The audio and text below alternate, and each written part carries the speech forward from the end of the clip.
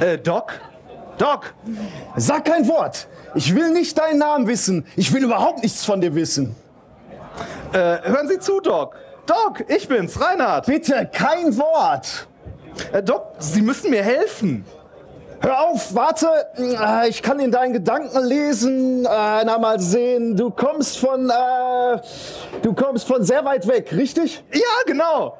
Kein Wort. Ähm, du willst mir ein Abonnement der Saturday Evening Post verkaufen. Nein. Kein Wort, kein Wort. Ich will nichts hören, sei still. Äh, ich weiß, äh, ja, du willst mir eine Spende für den Nachwuchs der Küstenwache äh, abnehmen, richtig? Doc, ich komme aus der Zukunft. Ich bin hier mit einer Zeitmaschine, die Sie erfunden haben. Und ich brauche Ihre Hilfe, um wieder in das Jahr 2014-2015 zurückzukommen. Mein Gott! Kannst du dir vorstellen, was das bedeutet? Das bedeutet, dass dieses verdammte Ding nicht funktioniert. Doc, Sie müssen mir helfen. Sechs Monate Arbeit für nichts und wieder nichts. Sie sind der Einzige, der weiß, wie Ihre Zeitmaschine funktioniert. Zeitmaschine, ich habe keine Zeitmaschine erfunden. Also Sie müssen mir glauben. Ich sage die Wahrheit, Doc.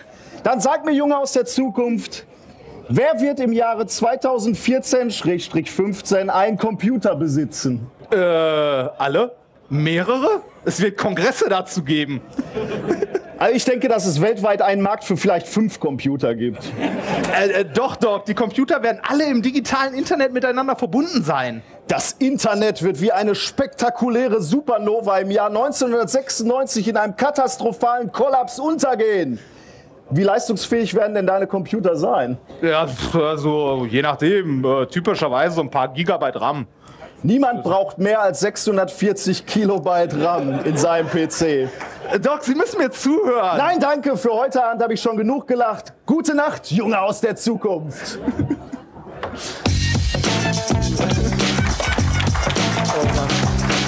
If, if you if you base medicine on, on science, you cure people. If you base the design of planes on science, they fly. Um, if you base the design of rockets on science, they reach the moon. It works, bitches. Methodisch inkorrekt Folge 41 direkt vom 31C3. Mit mir heute wieder mein persönlicher Computer-Hotline, Reinhard Remford. Hallo? Das war's? Ja, hallo. Ich wollte jetzt nicht die peinlichen Geschichten auspacken, wo du sagst, ich kann mich nicht über, v, äh, über VNC irgendwas irgendwo einwählen und die Lösung ist, das Kabel steckt nicht oder so. Vielen Dank, das erklärt auch den Rest von, von dieser Intro. Äh, Und ich bin der größte Noob in diesem gesamten Stadtteil, Nicolas Wörl. Moin, moin. Ähm, äh, vielen Dank, ja. Ich möchte, ich möchte kurz sagen zu dieser, äh, wir, wir haben uns sehr schwer getan, ein Intro zu finden für diese Sendung, äh, weil wir wollten schon etwas haben für, für den Kongress, aber wir waren uns nicht so richtig sicher, was wir da finden. Und da haben wir beim vorletzten Hörertreffen gefragt, was denn eine gute Idee wäre. Und die Leute meinten, es wäre eine gute Idee, diese, diese falschen Prognosen mal wieder rauszukramen und die hier irgendwie in einem, in einem Kontext zu verwursten. Ähm, ich denke, dass es weltweit einen Markt für vielleicht fünf Computer gibt. Äh, Thomas Watson von IBM, äh, der dann ein bisschen durchge oder, äh, dabei geholfen hat, äh, Computer überhaupt erstmal in jedes Büro zu bringen. Und mein, mein Lieblingszitat hat tatsächlich, also ich meine, man kann ja schon mal falsche Prognosen machen. Das ist völlig okay. Ich kann schon mal sagen, nächstes Spiel gewinnt Schalke oder verliert Schalke. Da, da liegt man nicht so spektakulär falsch. Aber wenn man einen Satz raushämmert, Ja, geht. Hättest du letztes Jahr gesagt, hier Dortmund. ja, okay. Äh, Dort- Dortmund wird diese Saison deutscher Meister. Das wär, da wär- da wäre man spektakulär gescheitert. Freust Aber- dich als Schalker, No. Aber noch spektakulärer ist halt zu sagen, das Internet wird wie eine spektakuläre Supernova im Jahr 1996 in, einer, in einem katastrophalen Kollaps untergehen. Sehr gut. Robert Metcalf, Gründer von 3Com. Äh, war, war leicht vorbei. Der junge Mann. Kennt man heute auch nicht mehr so wirklich, oder? Nee. Ethernet-Verbindung hat er wohl äh, mit erfunden, ironischerweise auch noch. ähm, ja, wir, ähm, wir sind vom Methodisch Inkorrekt Podcast äh, und dankenswerterweise kennen den viele hier, deswegen brauchen wir nicht so ganz viel äh, erklären. Aber wir erklären trotzdem mal, was wir normalerweise in unseren Sendungen so machen. Ja. Ernsthaft? Ähm, normalerweise läuft eine äh, Folge, also für die, die es nicht kennen, immer so ab. Ähm, wir sind beide Naturwissenschaftler, mehr oder weniger. Ähm, Physiker. wer, wer von uns ist jetzt wenig? Der ohne Doktortitel. Ach so. halt Physiker und äh, wir haben uns immer relativ viel über Naturwissenschaften auch immer so in der Mensa unterhalten, äh, gerade über aktuelle Forschung und haben uns irgendwann gedacht so, ey komm, wir reden da eh so, so oft und so viel drüber, lass uns da doch mal einen Podcast zu machen. Und äh, damit haben wir dann irgendwann mal angefangen vor Anderthalb Jahren? anderthalb Jahren, anderthalb Jahren. Äh, 41, aber eigentlich 42 Folgen, weil wir mit einer Nullnummer, dieser epische Fehler, den jeder macht, äh, mit der Nullnummer anfängt. Und deswegen äh, feiern wir jetzt irgendwie kein Jubiläum so richtig, weil wann feiert man? Bei 99 oder bei 100? Feiert man bei 41 oder bei 42? Äh, deswegen ist diese Sendung auch die falsche 42. Also 42 Folgen gibt's von uns, alle zwei Wochen. Ähm, üblicherweise so zwei bis drei Stunden, würde ich sagen. Deswegen sind wir hier so ein bisschen äh, in Zeitdruck. Oh, geht. Ähm, wir machen das sonst immer so, dass wir uns gegenseitig jeweils zwei Paper vorstellen und die erklären, ähm, die uns halt irgendwie in der letzten Zeit begegnet sind, die wir interessant finden und die irgendwie ein bisschen schräg sind auch. Ähm, oder zumindest nicht so das Langweiligste, was man finden kann.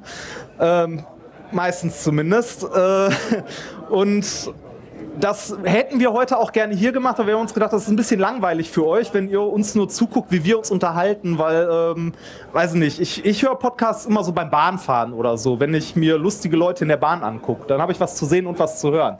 Äh, deshalb haben wir gedacht, wir machen das heute so, wir ähm, haben, ich glaube so, ja auch, haben wir vier Themen?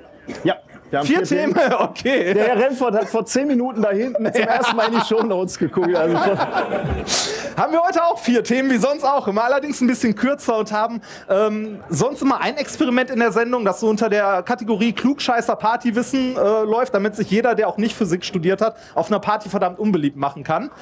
Ähm, ja, danke dafür. da sprechen Leute aus Erfahrung. Ähm, und äh, damit es für euch heute ein bisschen spaßiger wird, haben wir ein paar Experimente mehr mitgenommen. Und äh, zu jedem Paper eigentlich irgendwie versucht, ein bisschen was äh, Experimentiermäßiges mitzubringen. Äh, das ein oder andere kennt ihr schon, wenn ihr ein paar Folgen von uns gehört habt, aber wir haben auch ein paar neue Sachen mitgebracht. Ähm, weil du gerade Bahnfahrt gesagt hast, mal so nebenbei. Wie war denn deine Bahnfahrt hierhin eigentlich? War die okay? Schön. Ich habe eine Spieleentwicklerin kennengelernt. Oh, schön. Ja, ich, ich, ich habe zwei. Super, und da hört's auf mit dem Interesse, ne? Das, Nein, okay, äh, was Ernsthaftes. nein, geh weiter.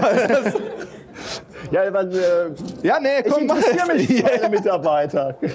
äh, ich, ich hatte nicht so, also ich hatte meine Familie dabei äh, im Zug, das war natürlich gute Begleitung, aber äh, wir waren umringt von alten äh, Damen auf Ausflug, sa sage ich mal. Äh, und ich äh, hatte etwas mehr Gepäck dabei. Äh, ihr habt meinen Koffer schon gesehen. Ich hatte einen Koffer nur für Experimente und einen Koffer naja gut, was man als Physiker so an Kleidung braucht, äh, hält sich ja auch in Grenzen. Ähm, aber ich hatte ein bisschen Schwierigkeiten, Platz für meinen Koffer zu, bringen, äh, zu finden und habe den dann so ein bisschen gequetscht in diese Gepäckablage, was dazu führte, dass ich von zwei Omas angeranzt wurde, dass doch ihr, ihr, ihr Hardcase-Koffer nicht so gedrückt werden soll. Ähm, worauf ich mich gefragt habe, was mag diese Frau in ihrem Koffer haben, dass es nicht gedrückt werden äh, darf. Und ich habe mir überlegt, ob ich meinen aufmache und sage, ich habe eine Rakete dabei und ich bin gewillt, sie zu benutzen. Aber ich habe es dann gelassen. Also meine Anreise war scheiße. aber falls es dich interessiert. Natürlich. Du hattest deine liebenvolle Familie mit dabei. Ich war, ich war einsam alleine unterwegs auf dem Weg nach Hamburg. Ja, ich habe dem Reinhard nicht gesagt, mit welchem Zug ich fahre. Erst als ich dann hier war. Ich, ich Das hat er hab, übrigens wirklich nicht gemacht. Ich habe ihn gefragt und er wollte nicht mit mir fahren. dann habe ich es bereut, als ich meinen Koffer gesehen habe mit den vielen Experimenten. Äh, sowas, äh, schlechtes Karma, das kommt auch immer wieder zurück. Ähm, Kon Kongress habe ich persönlich noch nicht so viel von gesehen. Ähm, Ich ein bisschen was und ich muss sagen, ich finde es äh, saugeil und ich komme hier unglaublich dumm vor. also ich renne hier andauernd rum und Leute machen irgendeinen geilen Scheiß und ich verstehe nichts davon. Wobei doch ein geiles Erlebnis fällt mir gerade ein, hatte ich doch schon. Ähm, man man äh, hat ja immer so gelitten unter seinen Großeltern, die gesagt hatten, früher hatten wir gar nichts. Äh, dieses Ereignis äh, spielte sich heute ab mit mir in der Rolle des, der alten Person und meinem Sohn in der Rolle des jungen äh, Kindes. Äh, ich habe nämlich oben, äh, wie heißt das, Pong?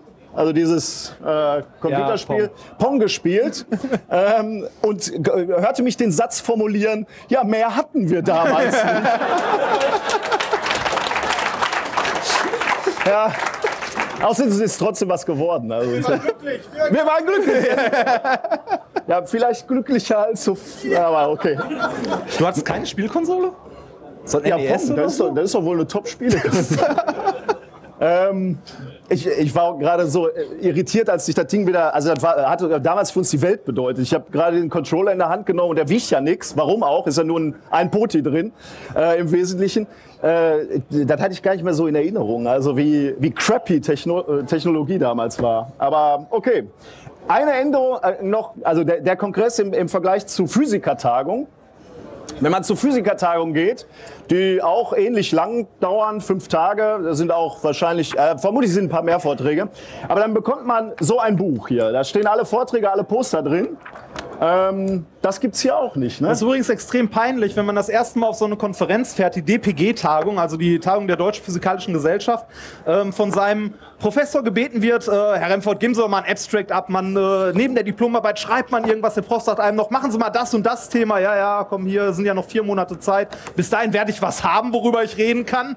Nach vier Monaten merkt man dann, Nein, hat man nicht äh, und bastelt dann im Zug, also es geht wahrscheinlich allen so, nicht nur mir, äh, bastelt dann im Zug auf dem Weg zur Konferenz noch irgendwas zusammen. Äh, ich möchte hinzufügen, das geht nur dir so. Nein, Also das geht mir, geht, mir so. mir geht das und nicht Dann so. nimmt man dieses Ding in die Hand, blättert durch, sieht sein Abstract und merkt, fuck, das ist das einzige Deutsche in dem ganzen Band. Das war sau peinlich. Ich habe meinen Vortrag dann auch auf Deutsch gehalten. Ähm, ging- ne, ich muss jetzt diese, diese Geschichte muss ich noch mal durchleiden. Habe ich dir schon mal erzählt? Nein. Ich Soll ich sie dir noch mal? Bitte nicht. Nicht? Lass uns ein Experiment Ja, machen. komm. Ein kleines, vielleicht habt ihr das, das könntet ihr aus unserem Podcast kennen. Also ich habe zwei dieser Konferenzbände. Ja, ich bin so wir alt, das dass ich 2006 schon mal auf einer DPG-Tagung war. Äh, zwei völlig unabhängige äh, Bände, Telefonbücher meinetwegen. Und ich lasse jetzt hier so äh, die Blätter ineinander laufen. Ein bisschen mehr. Äh, ein bisschen mehr. Soll ich das mal machen? Ja, er, ja, du musst aber auch erklären. Ne? Ich kenne ja Also, nicht. Da gibt's nicht viel zu erklären. Ja, schön machst du das.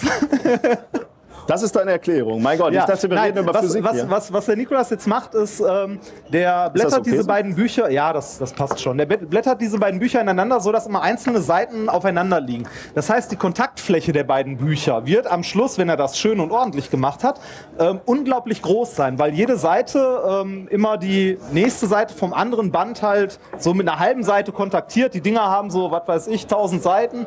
Das heißt, wir haben dann nachher äh, tatsächlich eine Kontaktfläche von ein paar Quadratmetern. Und äh, das heißt, zwischen diesen beiden Büchern, wenn wir gleich versuchen, die auseinanderzuziehen, Experiment. wird äh, eine. wird, äh, du hast es nicht so mit praktischer Arbeit im Labor und so, ne? ähm, wird, wird unglaublich viel, also äh, wird unglaublich viel Kontaktfläche sein. Das heißt, die Reibung zwischen diesen Büchern wird unglaublich groß sein. Obwohl die eigentliche Kraft, die ähm, die eigentliche Kraft, die senkrecht auf die Seiten wirkt, wird halt sehr, sehr klein nur sein. Also da, wir werden die nicht zusammenpressen, sondern die liegen nur locker zusammen. Äh, Das heißt, die Normalkraft, die auf die Fläche wirkt, ist relativ klein. Aber die Fläche ist verdammt groß. Das heißt, die Haftreibung wird auch relativ groß sein. Wir haben da mal äh, Löcher an die Seiten reingebohrt, weil wir eigentlich äh, gehofft hatten, dass wir den Herrn Wörl irgendwie dran aufhängen können. Äh, ja. Das Oh, ist, mit ja. zwei Schlingen. Ähm, Die haben wir Ja, auch komm. dabei, aber wir haben hier keine Möglichkeit. Nee, leider nicht, aber- Ich habe gerade, äh, äh, stelle ich fest, ich kann, äh, kann dieses Thema und die, die Ausführung zu diesem Thema dadurch beeinflussen, wie, äh, wie viel Zeit ich mir hier beim Ja, äh, Blättern lasse. Du musst halt immer spezifischer werden. es, es wird immer komplizierter. Ja, sag doch noch was. Nee, also, da das- wird, da, man will ja wohl noch ein bisschen hat, mehr hat über... da noch jemand direkte Fragen? Okay, wir versuchen das mal. Also zumindest dran zu ziehen. Das ist übrigens, als ich das das erste Mal ausprobiert habe, habe ich das mit zwei Büchern von meiner Mutti gemacht.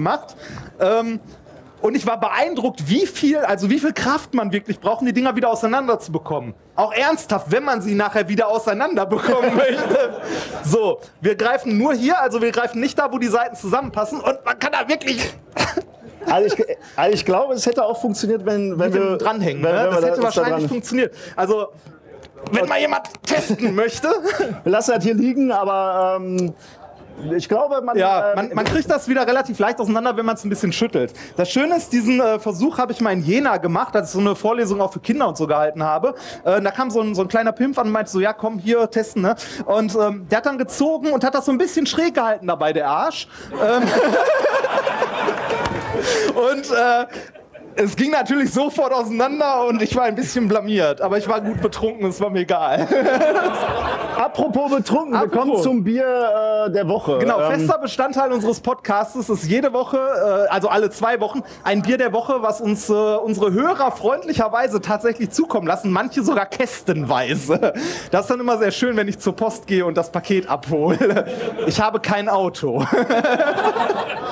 ähm, aber das Bier der Woche heute ist äh, etwas Besonderes. Wir haben gerade Bier äh, schon gespendet bekommen, was ich großartig finde, weil das ist nämlich kalt. Das werden wir gleich auch trinken. Ich habe trotzdem, weil ich halt ein gewisses Bier featuren möchte, das hat groß, einen Großteil meiner Jugend bestimmt. Und zwar, dass das wahrscheinlich keine Sau kennt, das hier. Stauderpilz. Die kleine Persönlichkeit. Ähm, ist ein schöner Spruch, ne? Stauderpilz ist das äh, Gebräu aus Essen. Mein Papa hat 28 Jahre lang in einer Brauerei gearbeitet. Allerdings nicht bei Stauder, dann wäre ich nämlich stolz gewesen. Er hat bei Sternpilz gearbeitet. ähm, warum machst du dein Bier schon auf? ja, es, du langweilst mich. Magst du Stauder nicht? Ja, ich mag deine Familiengeschichten nicht. Du könntest mal ein bisschen Anteil nehmen in meinem Leben. Äh, ich nehme an, du willst keinen Stauder haben. Nein, Ich finde das, echt- also das ist schon so ein bisschen. Warum hast du eigentlich ein Glas? weil ich Weizen trinke und du Pilz. Ja, und? Kommen wir zum nächsten Experiment. Ja, ähm, zum nächsten Experiment. Ich habe dir nämlich, weil ich weiß, dass du Stauder nicht gerne magst, habe ich dir Felddienst mitgebracht als alten Schalker. Und zwar in Dosenform. Okay. Und äh, du kannst dir im Grunde eine Dose aussuchen von den beiden. Aber Ähm. so. das ist, das, das ist natürlich der Moment, wo die Leute vom Sendezentrum jetzt auch etwas, etwas unruhig werden. So. Ich weiß gar nicht, welche ich mir wünschen soll. Das Schöne ist, ich weiß auch nicht mehr, welche die geschüttelt ist. Da- Das ist der Moment, also ich, ich erzähle mal die Geschichte, ich wünsche mir das einmal, dass ich irgendwann mal im Flugzeug sitze und die Durchsage kommt, äh, ist ein äh, Physiker anwesend, äh, so, wie, so wie sonst nach dem Arzt gerufen wird. Und das ist der Moment, äh, näher kann ich an diesen, äh, an, an diese Aus... Mach diesen- hinne, wir haben So, keine okay. Zeit. Okay, es, als Physiker hat man für dieses Problem eines schlechten Mitmenschen eine Lösung. Man schlägt das äh, mit Wissen. Richtig? So. Äh, und zwar, ähm, man möchte jetzt im Grunde wissen, welches ist die geschüttelte Dose, damit das hier nicht passiert. Wenn ich jetzt wüsste, wie ich das gestartet bekomme. Das läuft mal so nebenbei. Äh, damit das halt nicht passiert. Wenn man die, das kennt ihr alle, wenn man die geschüttelte Dose jetzt einfach aufmacht, wird man eine Riesensauerei veranstalten. Das möchte man nach Möglichkeit vermeiden. Ähm, man muss aber irgendwie rauskriegen, welche davon die geschüttelte ist. Schüttel Und noch mal, damit wir Ich sicher weiß gehen. nicht mehr, welche Ach, die geschüttelte Scheiße. war. Das Okay, so, dann ähm, das machen wir folgendermaßen. Und zwar ähm, nimmt man sich einen Tisch, der in der Nähe steht, legt beide Dosen drauf. Und ich heb den jetzt mal vorsichtig, ich versuche den vorsichtig anzuheben. Nikolas wird versuchen, diese Dosen aufzufangen. Und mal gucken, ob wir einen Unterschied beobachten können. Okay, diese Dose war deutlich schneller, diese Dose war deutlich langsamer. Ja. Dann Was kommt- sagt dir das? Dann, ja, das Möchtest du die langsame Dose oder möchtest du die schnelle? Wir machen dieses Experiment alle halbe Jahr und ich vergesse immer, welche ich aufmachen muss. Ähm, Du hast jetzt die langsame, ne? das ist die langsame. Ja, ja, ist gut. Die langsame. Durch das Rollen sind jetzt beide geschüttelt. Ja, das, das hält sich aber noch in Grenzen. Das war Das die, ist das war die schnelle. Ähm, ich bin mir aber nicht so ganz sicher, weil äh, das ist ja auch schon mal schief gegangen. Ne? Du müsst jetzt mutig sein. Das bin ich. Äh, Verdammt. so, studiert Physik! Trinkst du erstmal die, dann äh, äh, ja, du ich, trinkst hätte, jetzt ich hätte zwei, die ne? sonst noch aufgemacht. äh, vielleicht besser nicht. Ich, warum nicht? Doch, doch, doch. Ähm, das, das geht. Mir wurde mal gesagt, das geht nicht. Aber das äh, geht. kannst du noch eben erklären, warum Ja, das wollte ich ja machen. Achso, okay, ja, ja. Okay, ich habe nichts So, gesagt. warum ist die Dose jetzt langsamer als die andere? Das hat folgenden Grund. Während die Dose zu ist und nicht geschüttelt ist, befindet sich das CO2 da drin in Lösung, in Bier und in dem kleinen Behälter, also in dem kleinen Hohlraum da drüber. Wenn wir die jetzt schütteln, bringen wir dieses Gleichgewicht ein bisschen durcheinander und lösen mehr CO2 in der Flüssigkeit und es wird ausperlen und zwar in kleinen äh, Bläschen am Rand. Wenn wir jetzt die Dose aufmachen, die geschüttelte, dann wird der Druck da drin spontan abfallen. Das CO2 wird ausperlen, das an diesen Nukleationsstellen, also an Unreinheiten am Rand sitzt, nach oben schießen und das ganze Bier mitnehmen und eine Riesensauerei veranstalten. Ähm, viele von euch wissen wahrscheinlich, wie man dem Ganzen entgegengeht, und zwar Richtig. Das bringt gar nichts. Überhaupt nichts. Das bringt überhaupt nichts. Und wie ich hinzufügen möchte, das haben wir empirisch ermittelt. Also ja. Wir haben Messreihen Ja. gemacht. ähm, die Bläschen sitzen ja, wie wir wissen oder wie wir gerade gelernt haben, am Rand. Also nicht oben oder so, sondern am Rand. Das heißt, wenn irgendetwas überhaupt was bringt, dann ist es folgendes. Und zwar da an der Seite gegenzuschnipsen, weil sich damit die Bläschen, die sich an der Seite festgesetzt haben, wieder lösen. Dabei dreht man die Dose ein bisschen, dass man alles äh, halt erwischt und äh, mit etwas Glück kann man danach die Dose aufmachen und es wird nicht mehr überschäumen. Als ich das das letzte Mal erzählt habe, sagte mir jemand aus dem Publikum, das funktioniert nicht. er hatte recht. Aber das, das, das war auch, das war auch ein? Weizen. Ja, das war ein Weizen. Das war so, ähm, wer ist denn dafür, dass ich das hier probieren sollte? ja, das dachte ich mir. Ja, äh, die Hand vom Ralf bleibt unten, ne? der Chef vom Sendezentrum. Ne? Ich, ich gehe mal hier so mittig hin. Claudia äh, sagt auch gerade, du sollst ein bisschen Nicht? noch weg von der Technik gehen. Da ist gut, okay. Ihr, So. ihr misstraut der Physik. Ich auch. ah, Das funktioniert nicht. na, Gut. Äh, also, also dafür, dass sie geschüttet war, Ja. sonst war das dann okay. ist, ist okay.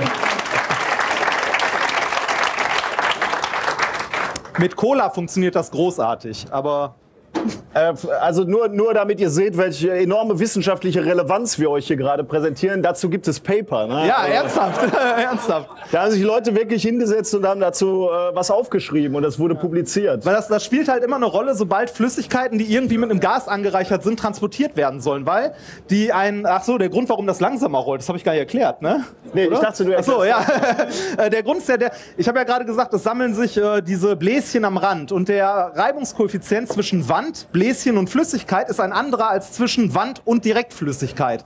Das heißt, die geschüttelte Dose bringt mehr Masse in Bewegung, während sie rollt. Also ähm, mehr Masse, die sich dreht. Ähm, das heißt, die Dose hat ein anderes Trägheitsmoment und äh, rollt dadurch langsamer. So, Das war's. das war's. Richtig. Gut. Ähm, wir können natürlich Hab nicht ich nur. zwei warme Bier und ein kaltes zu.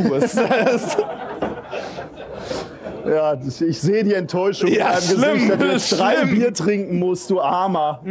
Ähm, also wir können natürlich nicht nur Experimente machen. Wo wir an der Stelle sind, möchte einer von euch einen Stauder? Ich mag das auch nicht. Äh, ich habe in meiner Jugend zu viel davon getrunken. Wenn einer möchte, das ist nur nicht kalt. Komm, Oder geht verteilen wir mal. Erzähl mal weiter in der Zeit. Das ist natürlich jetzt schon so ein bisschen wie äh. Zuschauerbestechung. Du kriegst später mal eins. Das stimmt, warte mal, aus welcher habe ich denn noch nicht getrunken? Aus der. Echt? Habe ich aus beiden? Tut mir leid. Das macht, er in, der- das macht er in der Mensa auch immer so. Da spuckt er erstmal auf seinen Teller. Futterneid. ähm, ja, wir müssen auch über Wissenschaft sprechen, obwohl wir hatten ja jetzt schon ein bisschen Wissenschaft. Aber äh, wir machen eine normale Sendung. Wir machen nur die Themen etwas kürzer. Ja. So. Ähm, ich habe dir wieder ein Paper mitgebracht, mein denn? lieber Padawan. Ähm, ich habe das Thema mal etwas konservativ genannt. Ähm, und du sagst mir gleich, ob du einen anderen Titel gefunden hättest. Gerne. Äh, das, The das erste Thema heißt Methan auf dem Mars. Hast du schon so. Nee. Das wird gleich noch schlimmer. Das wirst du gleich noch. Äh, den, den, den Elfmeter wirst du gleich noch verwandeln. Ja, ich höre. Ähm, das ist äh, eine Studie von Christopher Webster, unter anderem et al. natürlich, ähm, der für die NASA arbeitet. Und der, diese Studie wu- wurde veröffentlicht äh, in der Zeitschrift Science. Ähm, Vielleicht ein bisschen Background. Vor zehn Jahren äh, gab es mal eine, eine relativ große Meldung, dass die europäische Raumsonde Mars Express ähm, Methan auf dem Mars gefunden hat. Äh, das ist natürlich in, in gewisser Weise schon eine Sensation, weil äh, Methan sowas ist äh, wie ein, wie ein äh, Indikator dafür, dass eventuell biologische Prozesse auf einem Planeten ablaufen. Also wenn man sich beispielsweise die Erde anguckt, das meiste an Methan, was wir da sehen, äh, kommt halt aus biologischen Prozessen. Da waren eben die, war die Hoffnung hoch, dass man einen ähnlichen Grund auch beim, äh, beim Mars findet. Ähm, umso größer war dann die Enttäuschung, als der Kollege hier, äh, Curiosity ist das, ähm, nach der Landung, also er hatte auch ein Spektrometer dabei, äh, nach der Landung relativ wenig Methan gefunden hat. Ähm, also um genau zu sein, ähm, nur ein Sechstel von dem, was man sich erhofft hatte. Ähm, jetzt gibt es wieder Hoffnung. Ähm, also an Bord von dieser Sonde ist ein Laserspektrometer und er hat die ganze Zeit immer weiter gemessen, äh, wie viel Methan denn da äh, um diese Sonde herum sich befindet. Und da gibt es eine schöne Messung. Und das ist wirklich schön, dass ich jetzt endlich mal Diagramme zeigen kann. So als Physiker will man immer Diagramme zeigen. Ähm, was ihr hier seht, ist, äh, das sind die Sol-Tage, also die äh, Tag-Nacht-Zyklen auf dem Mars. Ähm, ist übrigens nicht viel länger, ein Marstag ist nicht viel länger als ein Erdtag, also es kommt so ungefähr gleich hin. Und ihr seht hier die äh, Konzentration vom Methan, also wie viel Methan man tatsächlich gemessen hat relativ lange langweilig und wenig, aber man sieht so zwei äh, Spikes, zwei Erhöhungen und zwar äh, sind die schon relativ dramatisch. Also wir, wir kommen hier von äh, im Durchschnitt 0,7 äh, Parts per Billion Volume, ist egal, aber äh, ist also mindestens so auf den, den zehnfachen Wert. Das ist natürlich schon erheblich, aber es fällt natürlich auch was auf, ähm, was ein bisschen komisch ist äh, das ist immer nur sehr kurzfristig und fällt dann wieder ab. Also, und jetzt kommt deine Chance, daraus einen Titel zu machen. Kurze Ausstöße von Methan. An Furzen habe ich vorhin schon gedacht, aber das ist ein bisschen zu flach. Äh. ja, ja, stimmt, das ist selbst für dich zu flach. ähm, also, was daran komisch ist... Wie lange promoviert man im Durchschnitt nochmal? so lange, bis sich dein Doktorvater entlässt. Noch ein Bier? ähm, also das äh, Methan hatte übrigens auf der Erde eine relativ lange Lebensdauer, 300 Jahre. Das ist, kann also nicht sein, dass sich das irgendwie schnell zersetzen würde. Oder man würde nicht erwarten, dass es sich äh, schnell zersetzt. Ähm, das heißt, man geht nicht davon aus, ähm, äh, oder anders gesagt, also man, man hat keine, keine Hinweise auf biologische Aktivitäten in der Nähe gefunden. Das heißt, man geht im Moment davon aus, dass es leider kein Leben ist, ähm, was dieses Methan produziert hat. Das wäre natürlich die größere Sensation gewesen. Sondern man geht davon aus, äh, dass das eher so Zersetzungsprozesse sind von Staubpartikeln oder Meteoroiden, äh, die durch die ultraviolette Strahlung zersetzt werden. Ähm, eventuell auch Vulkane, die in der Nähe sind, die immer noch aktiv sind. Ähm, das war die eine Sache, die ich euch zeigen wollte. Die andere äh, finde ich, äh, sagen wir mal, emotional äh, auch noch irgendwie äh, sehr schön. Das hier ist äh, der Gale-Krater. Gale Crater. Ähm, äh, also das hier ist der große Krater, in der Mitte steht ein, ein Berg. Äh, das ist das Landegebiet äh, von, von der Sonde, die ich euch gerade gezeigt habe. Da ist, da ist sie gelandet und da hat sie ihre Reise begonnen und ist dann hier so rübergefahren zum Berg, denn der Berg ist das, das eigentliche Ziel der Sonde. Ähm, da gibt es nochmal eine schöne 3D-Animation, ja gut, ein 3D-Bild, aber da, da, da, seht ihr im Wesentlichen... Äh, nur weiter sagen. da muss ich gerade mal, auf den Moment habe ich auch lange gewartet. Äh, wenn, man auf so, wenn, man auf asiatischen Konferenzen ist, äh, da gibt es Professoren, die halten Vorträge und die sind sich zu fein, um äh, die nächste Folie zu drücken. Also die nehmen weder diesen, diesen Präsenter in die Hand, noch wären, wären sie so, so gut, zu ihrem Rechner zu gehen und da eine Taste zu drücken. Die haben Leute, die, die diesen Job übernehmen. Da siehst du, wie das entstanden ist. Diese, diese Leute wissen aber natürlich nicht, wann die nächste Folie kommen soll soll. Das heißt, dieser Professor redet über sein, sein Thema in seinem schlechten Englisch und sagt dann immer, Next slide, please. Jetzt? Du verpennst natürlich. Jetzt, ja. Genau. Und das stört dermaßen den Vortragsfluss, das ist grauenhaft. Ähm, hier, hier die Theorie, wie dieser Berg entstanden ist. Ähm, unterschiedliche äh, Sedimente, also hier wieder der Krater natürlich. Und ähm, jetzt gibt es zwei Prozesse. Ach, geh noch mal ein Bild zurück, bitte. Äh, previous slide, please. Genau. Äh, ihr seht auf der linken Seite, erahnt man schon, da ist, da ist so ein Fluss, äh, der könnte da reinlaufen. Next slide, please. Ähm, und äh, die, diese, diese Struktur ist jetzt so entstanden, dass es einmal flüssiges Wasser da gab, Seen auf dem Mars. Und des, deswegen hat man hier in der Mitte immer so, so, eine, so, so Schichten gehabt, wo eben Sedimente sich aus diesem, aus diesem See ge- abge, abgelagert haben. Und dieser äußere, hellere Bereich sind äh, Sedimente aus dem Fluss, also zwei sehr unterschiedliche Ursprünge. Und deswegen seht ihr hier so zwei unterschiedlich farbige ähm, Sedimente, sagen wir mal. Und dann auf der rechten Seite seht ihr, ähm, Wind hat dann so äh, im, im äußeren Kraterbereich das Material abgetragen und ihr seht jetzt diesen schönen Berg und ihr seht halt, dass an den Flanken auch diese unterschiedlichen Sedimente, diese unterschiedlichen geologischen Strukturen freigelegt werden. Next slide, please. Ähm, und das äh, hat, hat äh, der Rover jetzt am, an der Basis des Berges, also er hat den Berg jetzt er, erreicht, äh, gefunden. Ein sehr schönes Bild, wo man eben genau diese Ablagerung aus dem See sehen kann. Ähm, und das ist, äh, da muss ich sagen, aber ihr wisst ja, wie ich da immer drauf abgehe.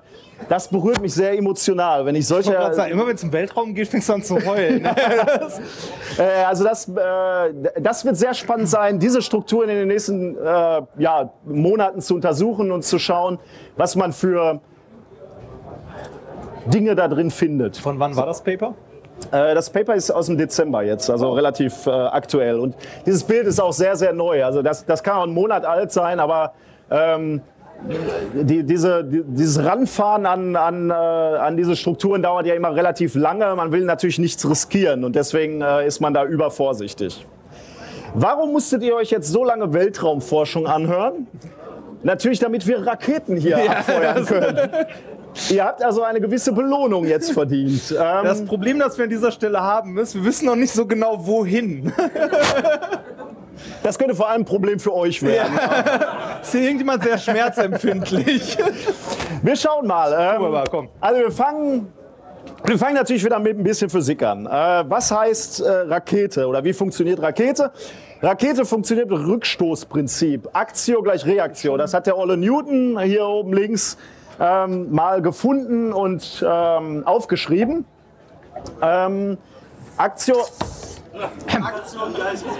Genau, sehr gut. Das war das erste Experiment. Wurde aber nicht besonders äh, ordentlich zusammen. Die steht ja nicht mal. Aber hast du die Dose schon leer oder warum ist ja, die ist leer. Komm mal weiter. Mein Gott! Ich bin sehr froh, dass diese Sendung kürzer ist. Also Ich hab sonst Aktio, auch nicht drei Bier hier stehen. Aktio gleich Reaktion. Ja. Ich bin mal gespannt, welche Reaktion du gleich auf drei Bier äh, in einer Stunde Wird zeigst. zunehmend lustiger. Für mich auf jeden Fall. Aktio gleich Reaktion. Das heißt, wenn ihr in einem Einkaufswagen sitzen würdet und ihr schmeißt äh, die Einkaufsgegenstände raus, nicht, dass als junger Vater mir diese Situation bekannt vorkommen würde, ähm, dann rollt der, also wenn, wenn, wenn schwere Gegenstände, Bierflaschen rausgeschmissen werden, dann rollt der, äh, der, ähm, der Einkaufswagen in die andere Richtung. Das gleiche könnt ihr natürlich im Ruderboot machen. Ihr schmeißt eure Ah, Meine Frau ist jetzt da, deswegen sage ich nicht die, die Liebste raus oder wen auch immer, äh, weil das romantische Date dann doch nicht so läuft. Dann werdet ihr praktischerweise in die andere Richtung fahren, in die ihr dann auch wollt. Ähm, die Geschwindigkeit, mit ihr, der ihr von der rausgeworfenen Frau äh, euch entfernt, hängt stark davon ab, wie viel Masse ihr aus dem Boot rauswerft. Oh. Je mehr Masse, desto schneller bist du weg. Ne? Ich habe mir diese Metapher nicht ausreichend überlegt.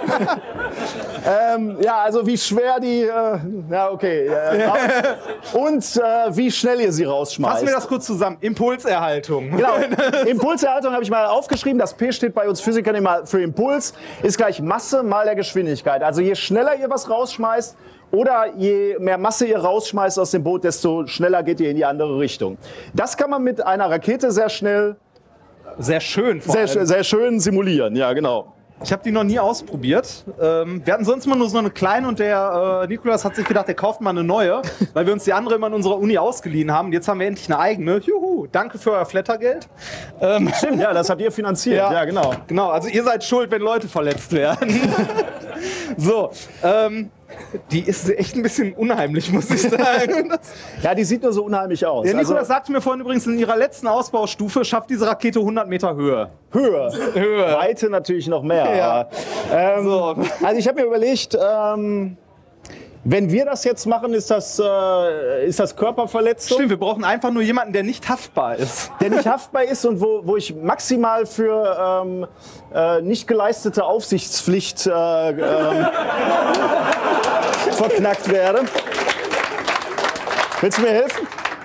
Ja, komm. Das ist mein Sohn. Ich, ich hörte in den vergangenen Tagen ein paar Mal, dass er mir ähnlich sieht. Okay, äh, wie haben wir das nochmal gemacht? Also du, du musst es erst daran ziehen, glaube ich, ne? Äh, Später. genau, ist natürlich ein guter. Genau, du hast jetzt gezogen, ne? Jetzt hörst du nochmal los. Genau. Wir machen erstmal hier. Also mach, mach nochmal, bitte. Zieh nochmal. Genau. Und lass los. Ich möchte dabei auch noch, also ihr müsst Okay, keine super. Angst haben, der Nikolaus ist nicht nur Physiker, der ist auch noch Physikingenieur. Also der hat beides gemacht. Also wir haben hier tatsächlich einen Ingenieur auch noch stehen. Das ist lange her. Ich habe auch mal Maschinenbau studiert, hat auch nicht funktioniert. Was mich im Moment ein bisschen beunruhigt, ist, dass der Druck. Druck?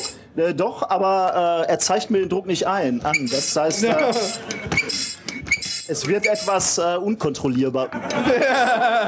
Ich hatte mir natürlich die Parameter, die funktionieren, rausgeschrieben. Dieses Scheißding ist echt schon kaputt. Wahnsinn. Okay. So viel zu guter Ja, Vorbereitung. Okay, ähm, wir versuchen es mal in eure Richtung. Genau, Duck and Cover. Oh, ihr kennt Duck und Cover noch. Geil. Okay, wir versuchen, wir versuchen jetzt erstmal ohne, äh, ohne Wasser. Äh, wärst du so gut? Komm, Warte kleiner- mal, ich geh mal sollen so wir so einen Fünf, Sollen wir so einen Fünfer-Countdown machen? Von fünf runter? Okay, bitte? Fünf. Achso, warte, stopp, genau, Sicherung. Meine Frau äh, war bei diesen äh, äh, Teststarts dabei, die immer in die Hose gegangen sind. Äh, okay. Dann nochmal. Fünf, vier, drei, zwei, eins.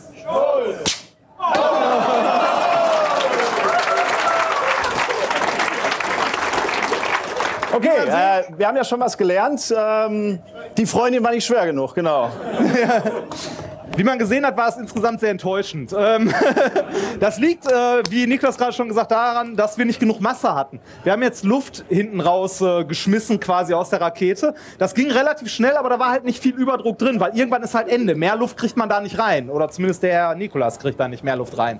Ähm, wenn man allerdings jetzt Wasser mit in die Rakete packt, dann wird... Auch zwar wieder Luft in die Rakete reingepackt, aber das, was zuerst rausgedrängt wird, ist nicht Luft, sondern das. Wasser. Das Zieh mal. Wasser hat natürlich eine deutlich höhere Masse als die Luft, weil es eine deutlich höhere Dichte hat. Los, was? Es wird einen größeren Impuls geben und die Rakete wird deutlich weiter, schrägstrich höher fliegen und Leute eventuell verletzen. Ja, ist schon ein bisschen. Dazu muss man sagen, an unserer Uni, äh, die Universität Duisburg-Essen, äh, gibt es äh, jedes Jahr so eine Veranstaltung, das heißt Freestyle Physics, ganz, ganz viel für Schüler. Äh, bla. Und das Ding steht in der Wikipedia als größter deutscher Wasserraketenwettbewerb. Das finde ich immer noch beeindruckend. Wer auch immer, welcher Troll auch immer das da rein eingetragen hat. Okay, steht da teure Technik oder? ich ich versuche es abzufangen. Ähm, so, Also. Sicherungsbolzen wieder raus. Äh, So. ich, ich, Ist scharf. wir gehen noch ein bisschen da in die Richtung. Ist Und dein wenn nicht, Sohn, einer, ne? wenn, wenn nicht einer fragt, Papa war irgendwo anders. So. Kannst du noch ein Stück zurück?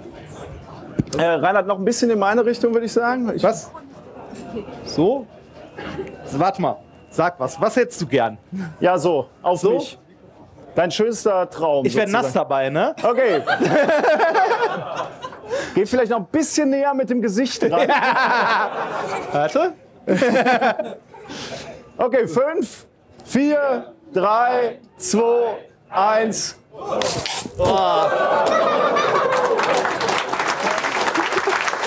Ja, super, danke. danke. Harr. So, äh, geht, geht noch alles so grundsätzlich? Oder? Oh, ich wusste, dass das passiert. Okay, danke. So. Ähm, ja, Ich frage mal so ins Sendezentrum, dürfen wir noch weitermachen? Sehr schön.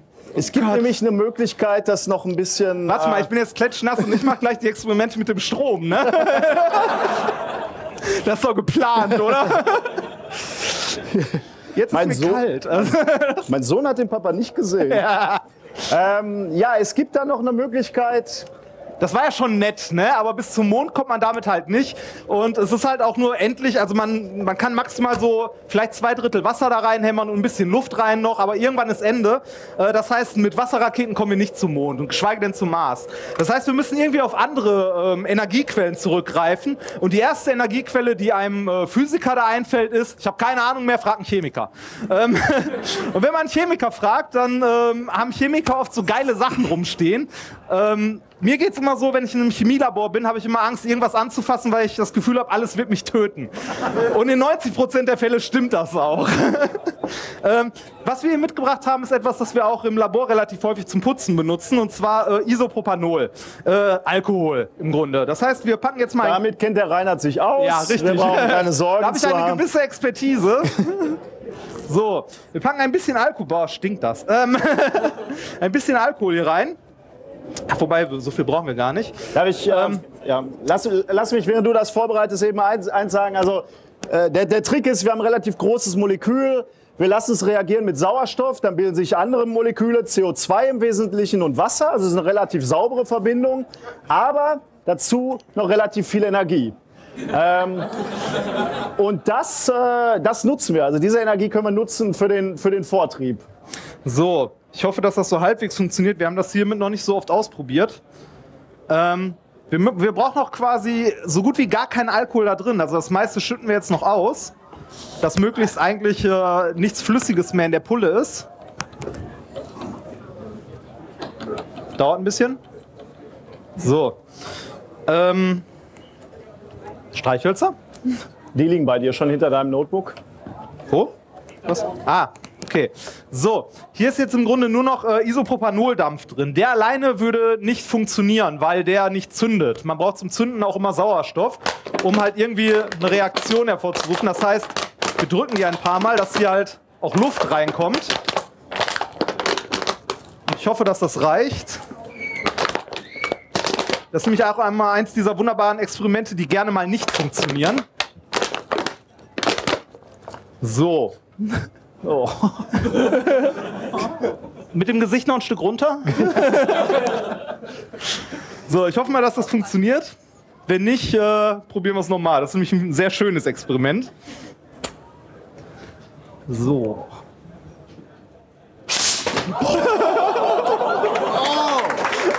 So. Alles klar, oder? Mein Gott. Wie ihr seht, das geht ordentlich ab.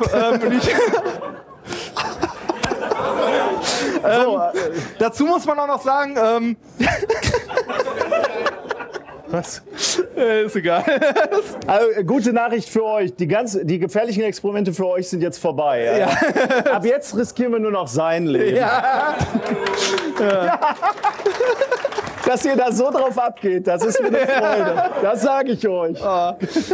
Geht das mit Spiritus auch? Das geht auch mit, nein. Achso, äh, don't try this at home. also nicht, nicht at euer home, ne? Aber, aber würde schon gehen, ja. Ja, Also, es geht. Es geht mit, all- das geht sogar, also das geht auch mit ähm, Absinth, habe ich auch schon ausprobiert.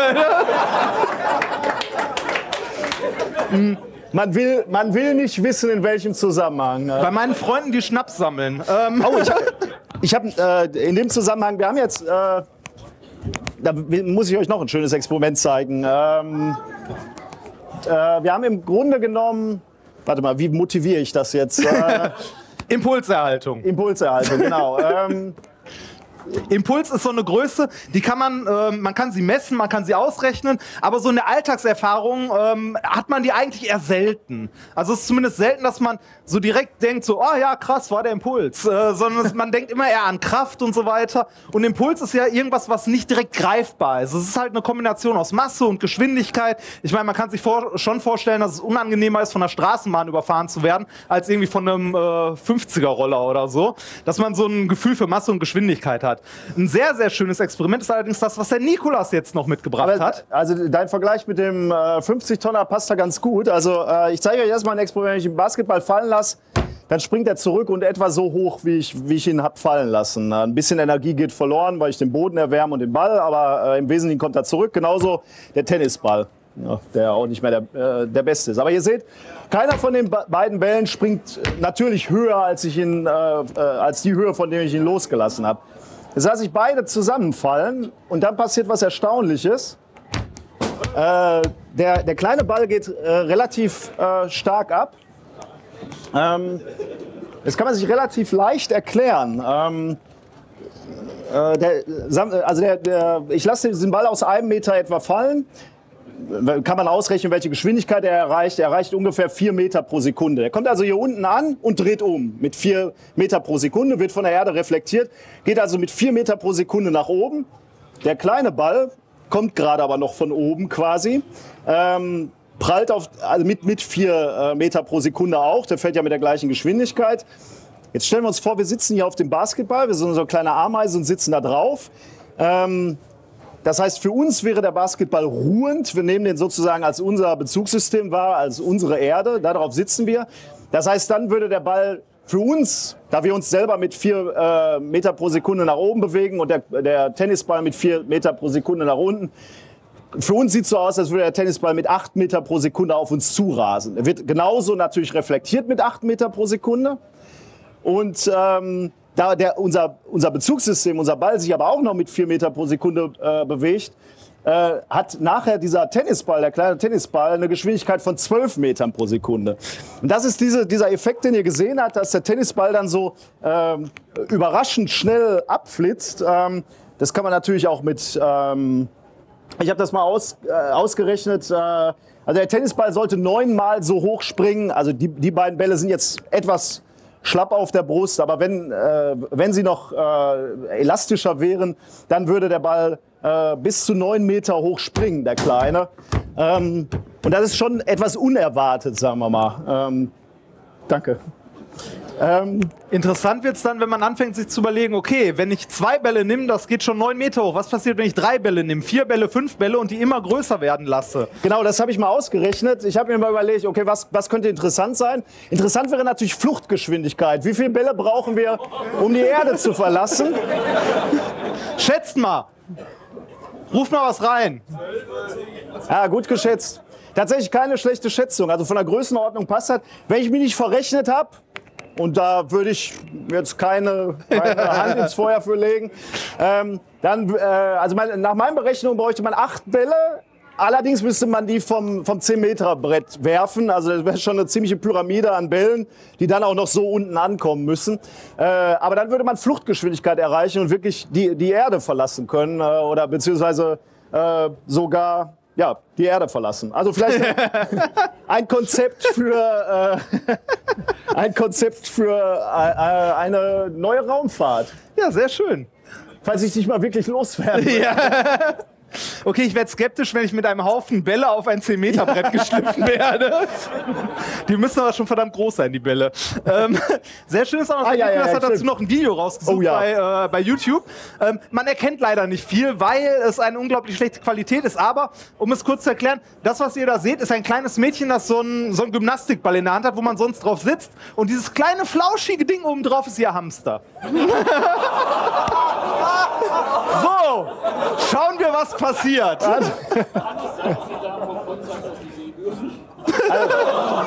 Ja, äh, beim dritten Mal kommt es nochmal in Zeitlupe, da sieht man es nochmal in epischer Länge. So gut es Da geht. jetzt. Man sollte Physik nicht zu früh abwählen. Geil, oder?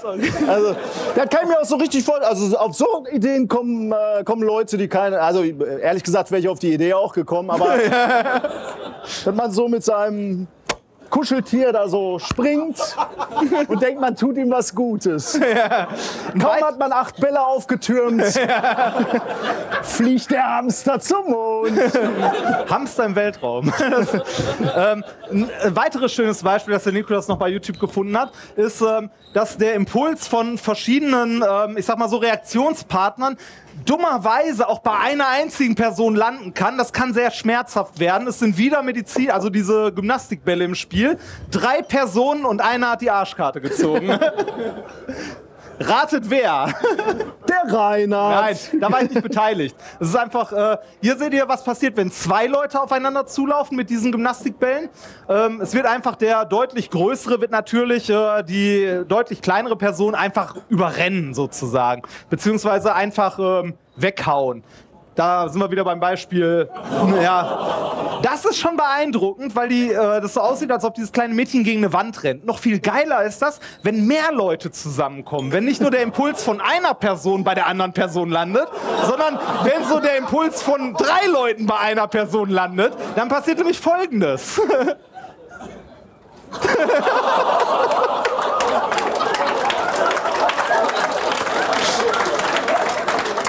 Das ist tatsächlich großartig. Ich finde das super schön. Das ist so die kleine Rache der Physiker. ne? Ja. So, ähm, nach diesem ganzen Impulsgezeugs kommen wir mal zu, dem, äh, zu einem wissenschaftlichen Thema, das ich mitgebracht habe. Und zwar handelt es von Schlafproblemen. Ähm, Ihr kennt das vielleicht, ihr, ihr liegt in eurem Bett, habt euer iPad in der Hand, euer Kindle oder sonst was und lest. Früher war das so, da hatte man noch die Taschenlampe in der Hand und hat auf das Buch geleuchtet. Heute leuchten die Dinger von selbst. Man muss nicht mehr mit einer Taschenlampe da rumfuchteln. Ähm, die Frage ist, hat sich irgendwas dadurch verändert für uns? Und um es kurz zu machen, ja hat es. Ähm, dazu gibt es ein Paper, das ich mitgebracht habe. Das ist ähm, mit folgendem Titel und irgendwas. So, ähm, der Titel dieses Möcht, wundervollen. möchtest du neu verkabelt werden? Nee, ich könnte da sicherlich was arrangieren. Nee. Ähm, der wundervolle Titel dieses Papers ist äh, Evening Use of Light Emitting E-Readers Negatively Affects Sleep, äh, Circadian Timing and Next Morning Alertness. Erschienen ist das Ganze in Proceedings of the National Academy of Science of the United States of America. Vielen Dank. Ja, bitteschön. Ähm, ich könnte jetzt auch noch versuchen, die Namen derjenigen vorzulesen. Ja. Das ist immer wieder ein Highlight. Ich krieg's nämlich nie auf die Kette. Die heißen aber auch immer so geil, die Leute. Äh, äh, Anne-Marie Chung, äh, Daniel Eschbach, das geht noch. Jeannie F. Duffy, Charles A. Dann irgendwas mit C, Z, E. Das ist- ja, eine Menge Menschen. Ähm, von der Pennsylvania äh, State University. Und äh, die haben folgendes Experiment gemacht. Die haben sich zwölf junge, gesunde Le- Leute genommen, davon sechs Frauen, so im Schnitt waren die 25 Jahre alt, haben äh, die an fünf aufeinanderfolgenden Abenden ähm, entweder ein normales Buch zum Lesen gegeben und eine Taschenlampe, beziehungsweise leicht gedämmtes Licht im Raum, oder die haben den E-Book-Reader in die Hand gegeben, Kindle oder ähnliches. Das haben die, äh, wie gesagt, an fünf aufeinanderfolgenden Abend gemacht, jeweils mit dem einen und mit dem anderen und haben danach mal den Melatoninspiegel gemessen bei, den, äh, bei diesen lieben Menschen. Melatonin ist verantwortlich für eure innere Uhr, also für euren Schlafrhythmus, wie wach ihr seid, beziehungsweise mit was für einem Kater ihr morgens aufwacht. Ähm, je mehr davon, desto besser schlaft ihr. Wenn ähm, wenig von diesem Melatonin ausgeschüttet wird, schlaft ihr sehr unruhig, beziehungsweise ihr schlaft sehr spät der größte Trigger jetzt sozusagen dafür, ob mehr Melatonin produziert wird oder nicht, ist für den menschlichen Körper Licht. Also je mehr Licht, desto weniger von dem Zeug wird produziert. Und ähm, jetzt könnte man sagen, okay, ist doch scheißegal, ob ich eine Taschenlampe nehme und Licht abbekomme oder ob ich so einen E-Book-Reader oder ein iPad nehme und Licht abbekomme. Im Grunde könnte man sagen, ja, ist egal, stimmt aber nicht ganz, weil Licht ist leider nicht gleich Licht. Und zwar, ähm, das wissen wahrscheinlich die meisten von euch, wenn man sich weißes Licht nimmt und mal durch so ein Prisma jagt, sieht man, das besteht aus allen möglichen Farben. Den gleichen Effekt hat man auch bei einem Regenbogen. Man sieht, dass das Licht der Sonne ähm, spektral zerlegt aus einem wunderschönen Spektrum besteht, das ein, wo eine Farbe in die nächste übergeht. Wenn ihr euch jetzt LEDs nehmt oder äh, Kaltlichtkartonen oder ähnliches und euch mal davon das Spektrum anguckt, die sehen weiß aus, sind sie aber nicht. Also sie sind nicht kontinuierlich, sondern die haben teilweise ein relativ diskretes Spektrum, was durch die Licht, also was äh, dadurch zustande kommt, wie das Licht erzeugt wird in diesen Halbleitern oder in diesen Gasentladungen.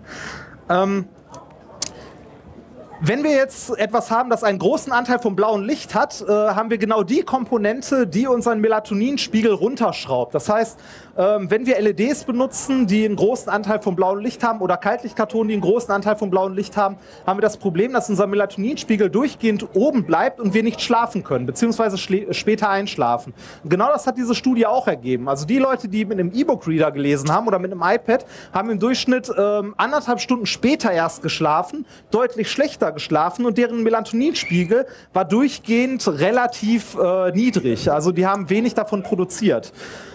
Ähm, jetzt weiß ich gar nicht mehr, worauf ich hinaus wollte. ähm, diese, dieser Punkt ist halt, Licht ist gleich Licht. Äh, Licht ist nicht gleich Licht. Dieses Problem mit dem E-Book-Reader hatte ich zum Beispiel relativ selten, weil ich habe ähm, so ein Ding erst vor knapp einem Jahr bekommen, beziehungsweise mir gekauft. Das Problem, das ich hatte zum Einschlafen, während ich noch äh, vor ein paar Jahren in einer WG gewohnt habe, war ein Arschloch-Nachbar auf der anderen Straßenseite, der selbst nachts um drei Uhr noch äh, das Licht durchgehend anhatte.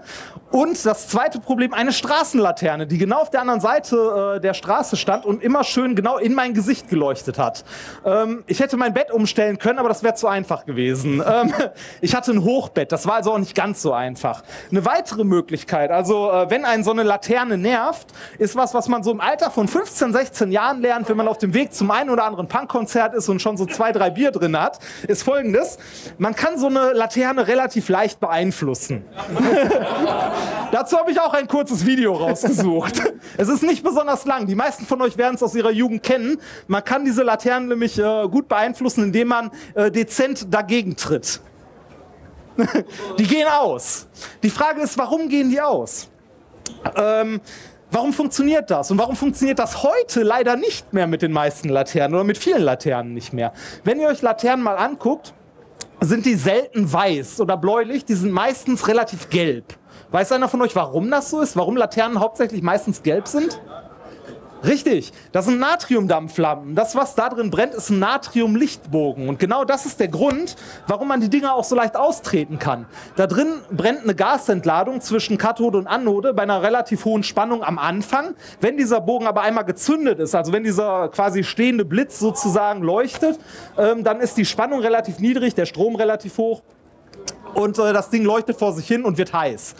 So, diese Lampen funktionieren meistens nach folgendem Prinzip. Da ist ein Edelgas drin, das wird mit einer hohen Spannung ionisiert, es wird ein Hilfslichtbogen gezündet, das Natrium da drin wird heiß, verdampft immer mehr und das Natrium äh, emittiert dann gelbes Licht, wenn es denn heiß genug ist und der Lichtbogen hauptsächlich aus Natrium besteht.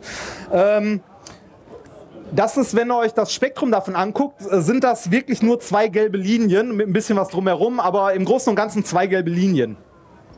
Ähm, das heißt, es ist auch kein kontinuierliches Spektrum, sondern es ist sehr diskret. Dieses Natrium-Spektrum, beziehungsweise diesen Natriumlichtbogen, den könnt ihr auch äh, in eurer Küche betrachten. Und dazu habe ich folgendes Experiment mitgebracht. lange Herleitung, aber ähm, und zwar könnt ihr euch einen Natriumlichtbogen in eurer Küche angucken. Bringt euch bitte nicht dabei um.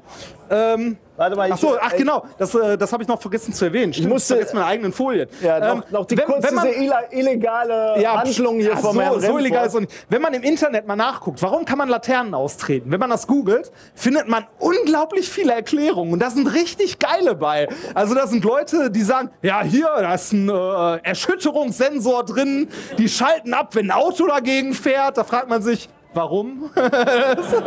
also, Finde ich komplett sinnlos, ist auch kompletter Quatsch. Ähm, ich habe, um das Ganze zu, also ich will ja nicht einfach Behauptungen in den Raum stellen, um das zu überprüfen, habe ich mal in meiner Heimatstadt äh, eine Laterne auseinandergenommen und habe mal reingeguckt. Und da ist natürlich kein Erschütterungssensor drin, sondern nur so ein Kasten, das ist das Vorschaltgerät, das kurzzeitig diese hohe Spannung erzeugt, um einmal diesen Lichtbogen zu zünden. Wenn es dann einmal brennt, brennt's und dann haben wir nach kurzer Zeit, wenn die Lampe angelaufen ist, dieses wunderschöne gelbe Natriumlicht.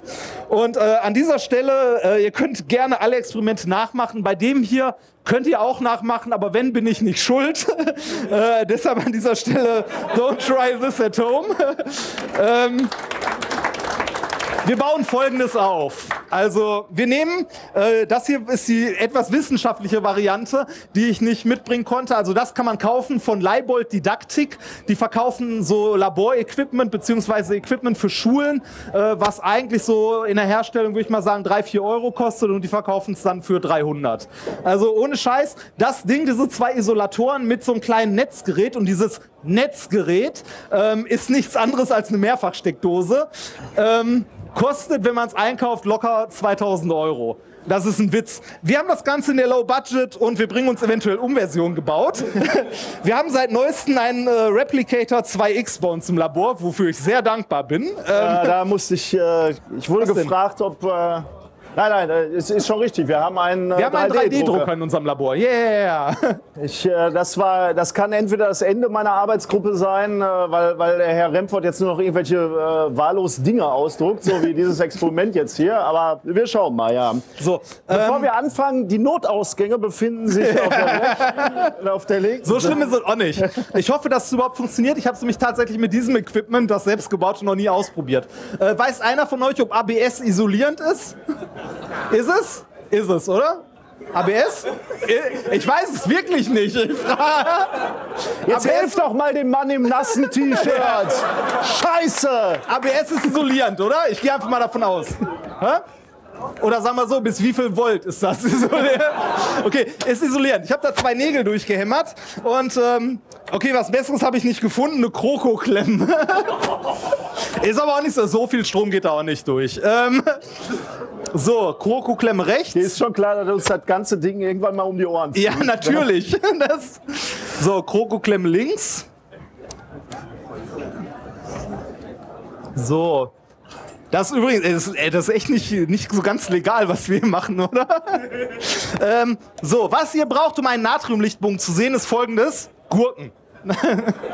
Oh, da gibt's noch eine schöne Geschichte, ne? Oh ja, da gibt's eine sehr schöne Geschichte. Die habe ich, äh, bevor ich hier hingekommen bin, also bevor ich zum äh, 31C3 gefahren bin, gekauft.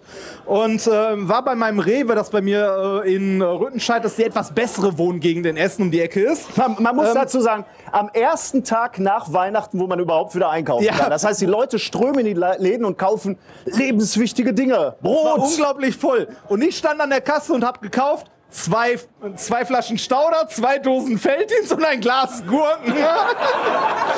Ich wurde ein bisschen schräg angeguckt und kam mir auch vor wie der letzte Heckenpenner. Dazu muss ich auch sagen, ich habe schon mal zwei Dosen Bier für so ein Experiment morgens um 8 gekauft in der Uni und war tatsächlich, stand an der Kasse, hab die aufs Band gepackt. Da kam so ein kleines Kind, das halt mit seiner Mutter einkaufen war und hat so mit den Sachen auf dem Band rumgespielt und auch so gegen die Dosen getitscht. Und da meinte die Mutter, die daneben stand, nahm ihr Kind zur Seite und meint, lass das, der Mann braucht das.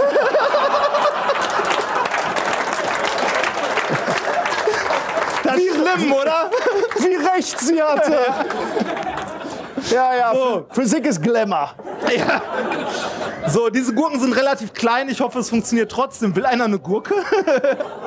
So, wir spießen jetzt mal auf. Zwischen unseren Isolatoren. So, was Das- hoffentlich isoliert. Ähm, Was man noch Lustiges dazu erzählen kann, bei uns im Labor bin ich der Sicherheitsbeauftragte. Ehrlich. so, hier haben wir ein Netzgerät.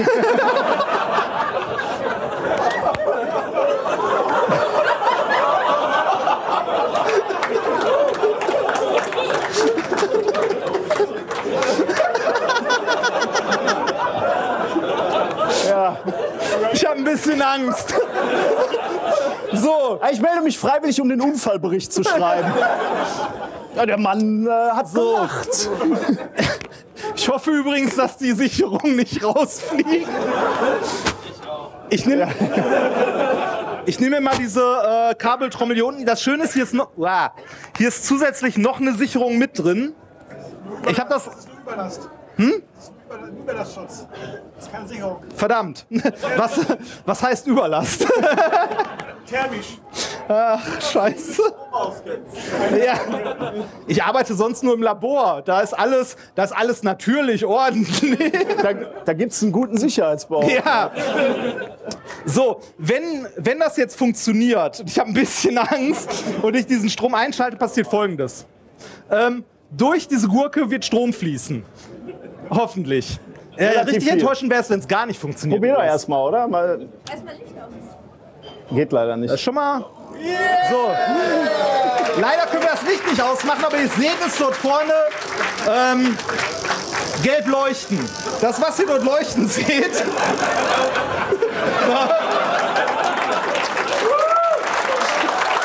Warte, nein, nein, nein, nicht. Ja, ja, ja. So, Wir hatten, wir hatten die Rauchmelder ja abstellen lassen. Ne? so, ich entschuldige mich bei allen Podcasts, die nach uns kommen. Es wird hier nach Stunden noch nach verschmorte Gurke riechen. So, was ihr da äh, leuchten gesehen habt, war genau knallgelb, genau wie die Laternen, die ihr draußen hattet. Und zwar war das auch ein Natriumlichtbogen. Und zwar durch den Strom, also durch die Spannung, die an der Gurke anliegt, zündet ihr in der Gurke einen Natriumlichtbogen, weil diese Gurke besteht aus äh, Gurke und und Salz. Da ist eine Menge Salz drin. Die ist halt eingelegt in so einer salzigen Lösung.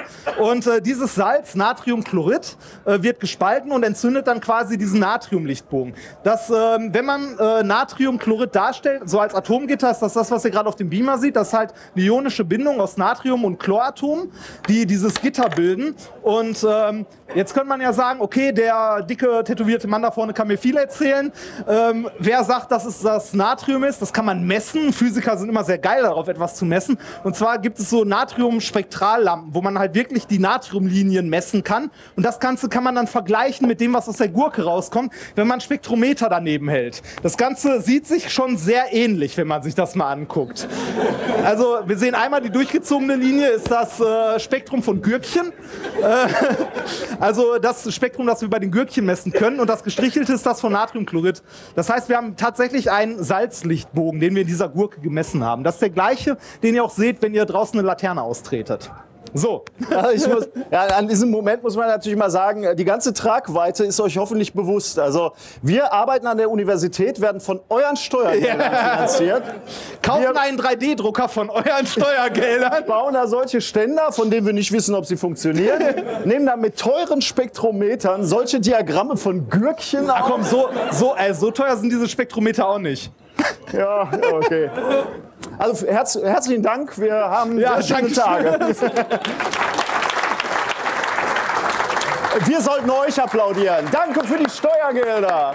Aber wir machen auch ordentliche Dinge. Ey, bei, dem, bei dem Zusammenhang, ich halte übrigens morgen einen Vortrag über unsere echte Forschung. Äh, äh, wir arbeiten mit äh, NV-Zentren im Diamant für Quantencomputer. Da halte ich morgen früh irgendwie einen Vortrag. Falls ihr da Lust habt, kommt mal. Mit euren Steuergeldern werden auch ordentliche Dinge gemacht. So, aber jetzt Genau, wieder zu wir, Quatsch. wir machen mit euren Steuergeldern ansonsten Diamanten. es wird nicht besser. Du hattest mal welche deiner Frau da zur Hochzeit. Wir kommen zum nächsten wissenschaftlichen Ja, Thema. bitte, ich bitte darum. Thema, äh, ja, eine Forschung, die ihr auch finanziert habt. Zum Glück nicht, äh, haben wir die nicht gemacht. Äh, deswegen ist was Ordentliches rausgekommen. Äh, Physiker vom Max-Planck-Institut für Struktur und Dynamik der Materie in Hamburg. Nicht schlecht. Und Max-Planck-Institut für Festkörperphysik, äh, Festkörperforschung, Entschuldigung, in Stuttgart. Ergebnisse wurden im Nature Nanotechnology vorgestellt. Aha. Ja, ja.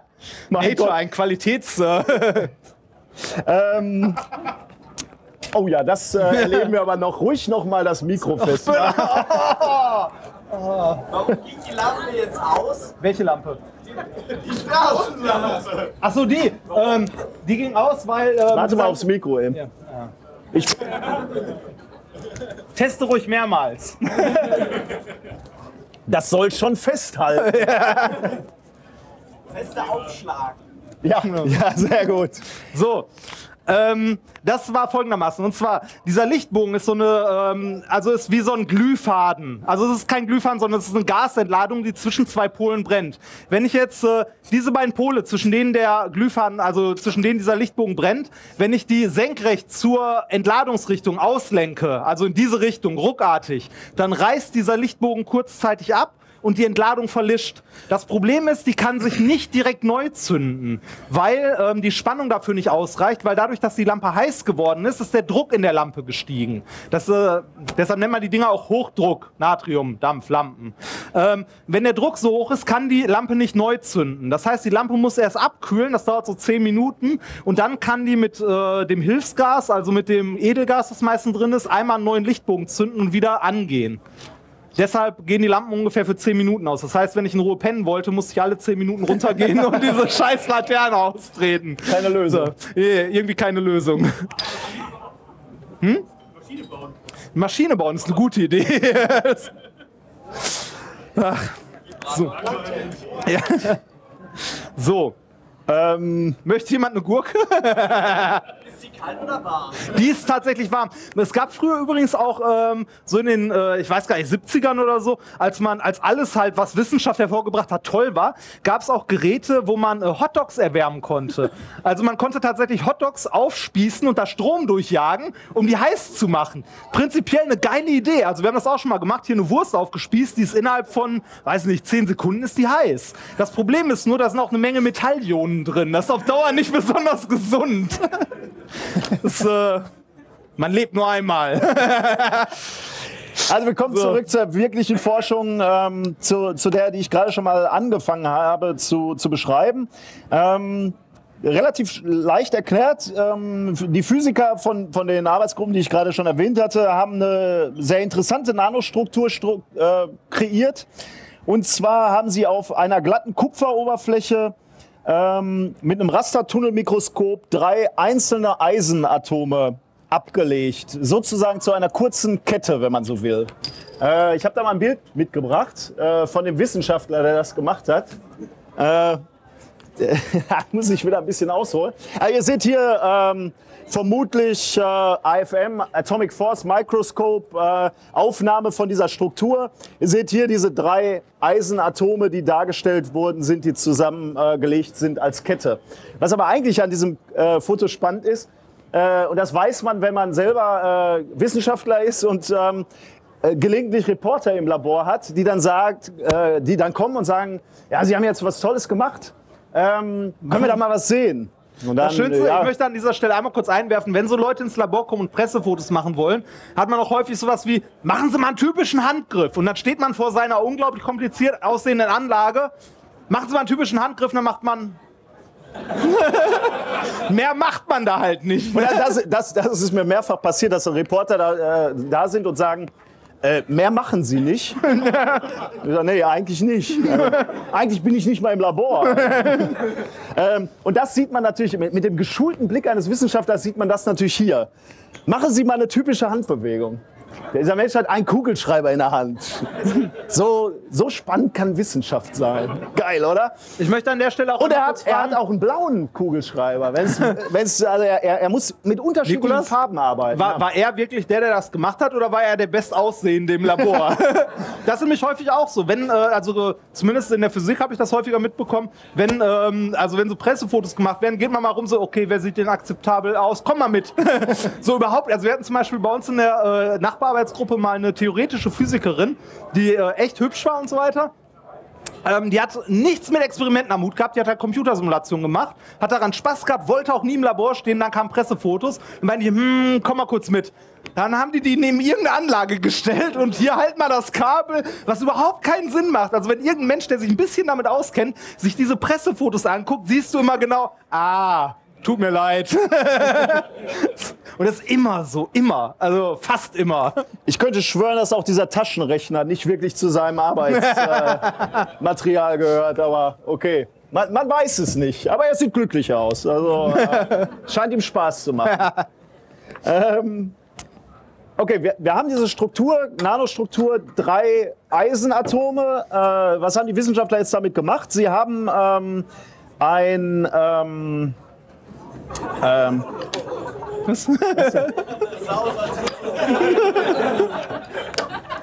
eure Steuergelder. Was denn? Das ist sparsam, multifunktional. Nein, Nein, ich habe überlegt, damit die Flasche aufzumachen, aber das ist immer so.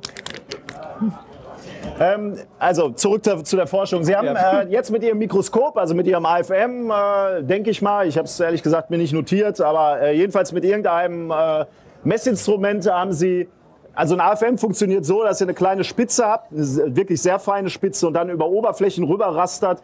Und die ist so fein, dass sie wirklich einzelne Atome darstellen könnte. Und was Sie gemacht haben ist, Sie haben ähm, Sie haben noch weitere Eisenatome aufgenommen. Diese Eisenatome waren magnetisch geladen und die haben sie über ihre kleine äh, drei Atom äh, drüber geführt und damit ähm, diese Kette, diese, diese Nanostruktur magnetisiert. Und das Erstaunliche an dieser äh, Struktur oder an der, an der Magnetisierung ist, äh, die ist extrem stark. Ähm, ich hatte es mir auch irgendwo notiert, einige, einige Tesla. Ähm, genau, also einige Tesla, also stärker als so, so der Dauer, äh, Dauermagnet, den ihr so kennt. Und das ist ja wirklich erstaunlich. Wir sprechen hier von, von drei Atomen. Also ich meine, wo, wo sitzt diese magnetische Kraft? Ähm, ist aber auch nicht besonders weit entfernt dann davon. Ja, ne? genau. Da, das, ist, das ist der zweite Punkt. Sie ist extrem stark, also mehrere Tesla, aber auch nur extrem äh, kurzreichweitig. Wir reden hier von einer Reichweite von etwa einem Atom. Ähm, das heißt, wir haben ein starkes Magnetfeld, aber nur für, für, einen sehr begrenzten, äh, für eine begrenzte Reichweite das ist die Forschung. Da könnt ihr jetzt sagen, na ja, gut. Ähm, aber das ist äh, insofern interessant, äh, wenn, man an Anwendungen denkt. Äh, sowas wäre natürlich ein idealer äh, Speicher tatsächlich. Also man könnte, äh, was die Forscher auch gemacht haben, sie konnten die Magnetisierung relativ schnell wechseln zwischen, zwischen äh, Nord-Süd und Süd-Nord quasi in, in, innerhalb dieser Kette. Und das ist natürlich spannend, weil man damit sehr schnell und sehr platzsparend vor allem, ich meine, wir reden über drei Atome, Informationen auf der Kupferoberfläche ablegen kann. Und deswegen ist eine Überlegung, ähm, daraus später mal Speicher zu bauen, ähm, also so, sowas wie die nächste Festplatte. Oder was da damit auch gemacht werden könnte, sind äh, Qubits anzusteuern, wie sie, in Nano, äh, wie sie in Quantencomputern gebraucht werden. Das ist das, was ich morgen in dem Vortrag berichten werde. Auf mit deiner Werbung. Ja. Der Mensch, der heute was über Quantencomputer erklärt hat, hat schon Werbung für dich gemacht. Das reicht.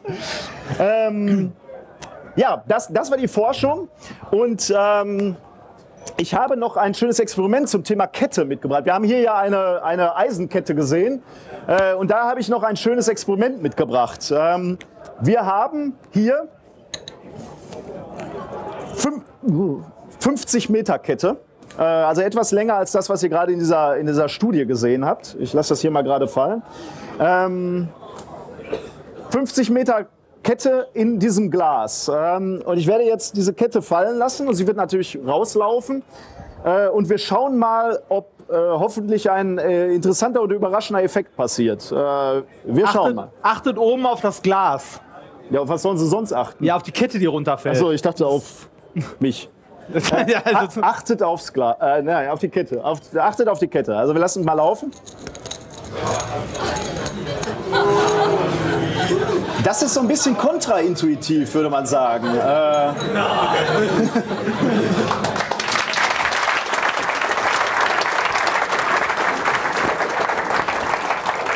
Also, dass, dass, die Kette runterläuft, äh, hätte man noch erwartet, aber dass die äh, quasi aufbäumt. Genau, dass sie so äh, also aufspringt oder so. Das, das hätte man nicht zwingend erwartet. Woran liegt das? Also diese Kette läuft aus dem Glas raus und wir haben jetzt eine relativ also so, so einen relativ kleinen Kettenteil, der noch hier in diesem Glas ist, der zieht so ein bisschen an der Kette. Und wir haben diese, diese lange Kette, die bis hier runterläuft, die, ähm, die einfach über die Gewichtskraft relativ stark zieht an, an der Kette. Möchtest du das bei der Zeitlupe erklären? Ähm, weil in Zeitlupe ist alles besser. Okay, in Zeitlupe, ich höre, in Zeitlupe ist alles besser, deswegen habe ich dieses äh, Video äh, von. Also das, was ich euch gerade erklärt habe, lange Kette rechts, kurze Kette links oder umgekehrt für euch, erklärt erstmal natürlich nur, warum fällt die Kette überhaupt aus diesem Glas raus. Das hätte euch nicht überrascht. Warum beschreibt sie diesen Bogen? Da, da sind wir wieder bei Trägheit. Äh, da haben wir heute schon ein bisschen was von gehört. Ähm, dadurch, dass diese Kette auf der, auf der kurzen Seite so einen sch enormen Schwung kriegt, wird sie also über den, den Glasrand äh, hi hinausgezogen. Und wenn man sich jetzt ähm, das Ganze mal im, äh, in Zeitlupe ansieht, ähm, äh, dann sieht man das nochmal sehr schön. schön, wie du dich so in die Kamera eindrehst. ja. Ja.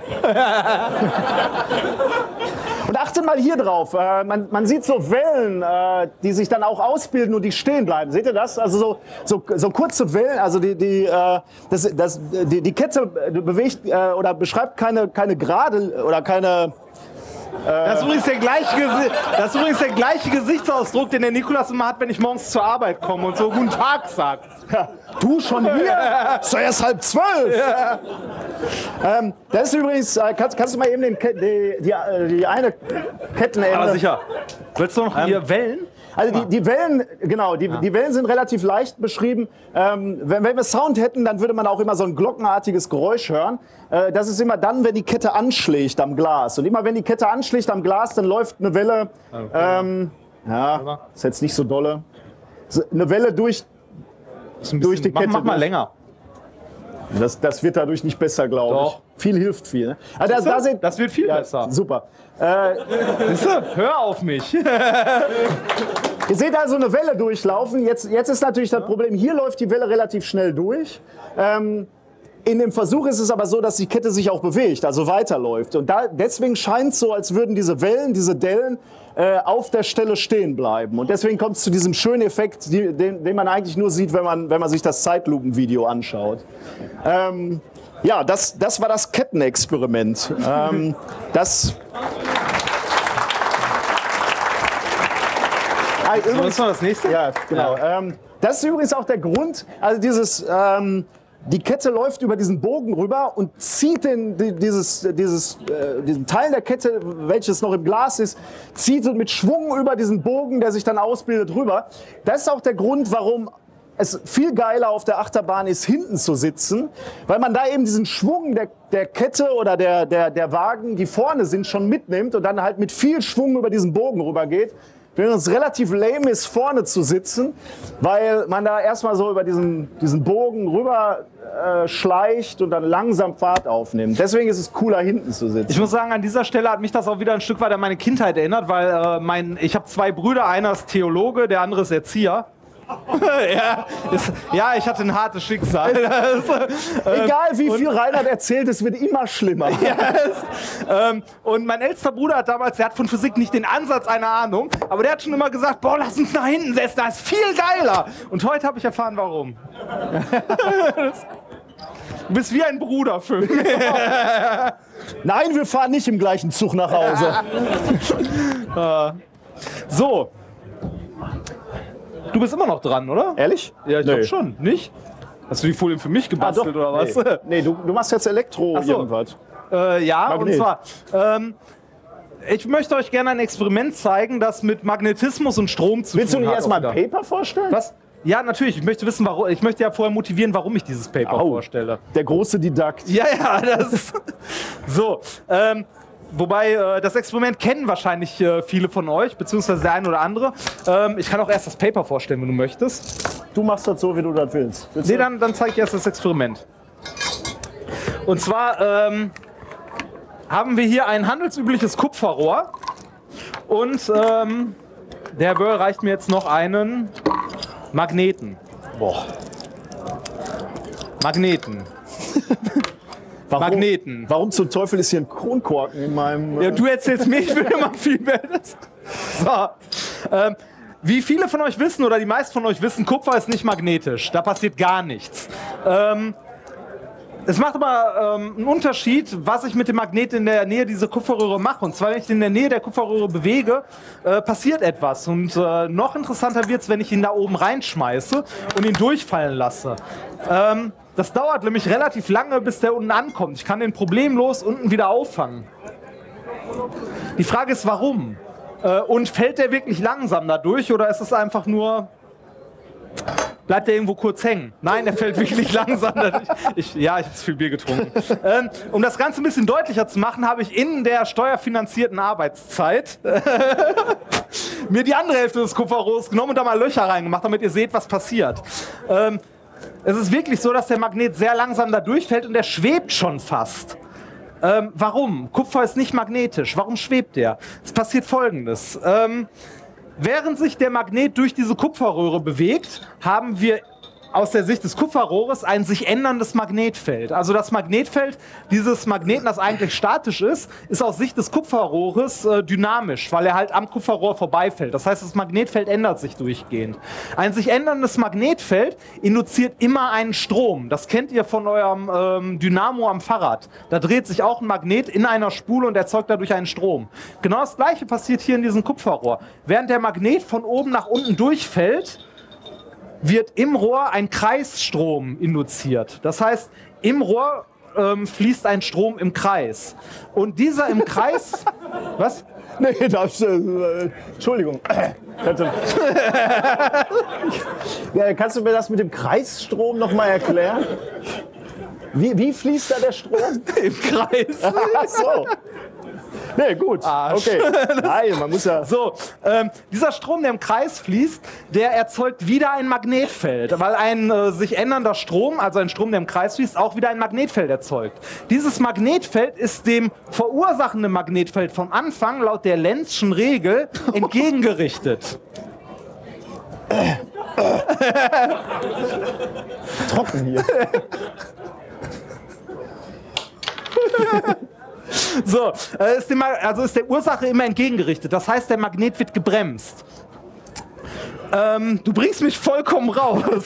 Die Frage ist, war, also man kann sich das auch dann ähm, leicht überlegen, in welche Richtung der Strom dafür fließen muss. Ähm, wenn, äh, das, wenn der Magnet nach unten fällt, muss das Magnetfeld, das ihn stoppt, natürlich nach oben zeigen, also in die andere Richtung. Das heißt, ähm, der Strom wird so rum durch das Rohr fließen. Warum weiß ich das? Weil es eine einfache Regel gibt, die sogenannte rechte Handregel. Ähm, es gibt, äh, das lernt man noch in der Schule, der Daumen steht für den Strom, also für den elektrischen Strom, der Zeigefinger für das Feld und der äh, Mittelfinger für die Kraft. Das heißt, wenn ich äh, einen Strom habe, der so rumfließt, und das ist auch egal. Ähm, man kann sich das auch einfach überlegen, wenn man so einen Schraubendreher in der Hand hat, also so, wenn das Feld in die Richtung zeigen soll, muss der Strom so rumfließen. Also so. Ähm, diese ganzen Gesten, die man mit den Händen macht, um sich das zu äh, erklären, das hat sich selbst in der Popkultur tief verankert.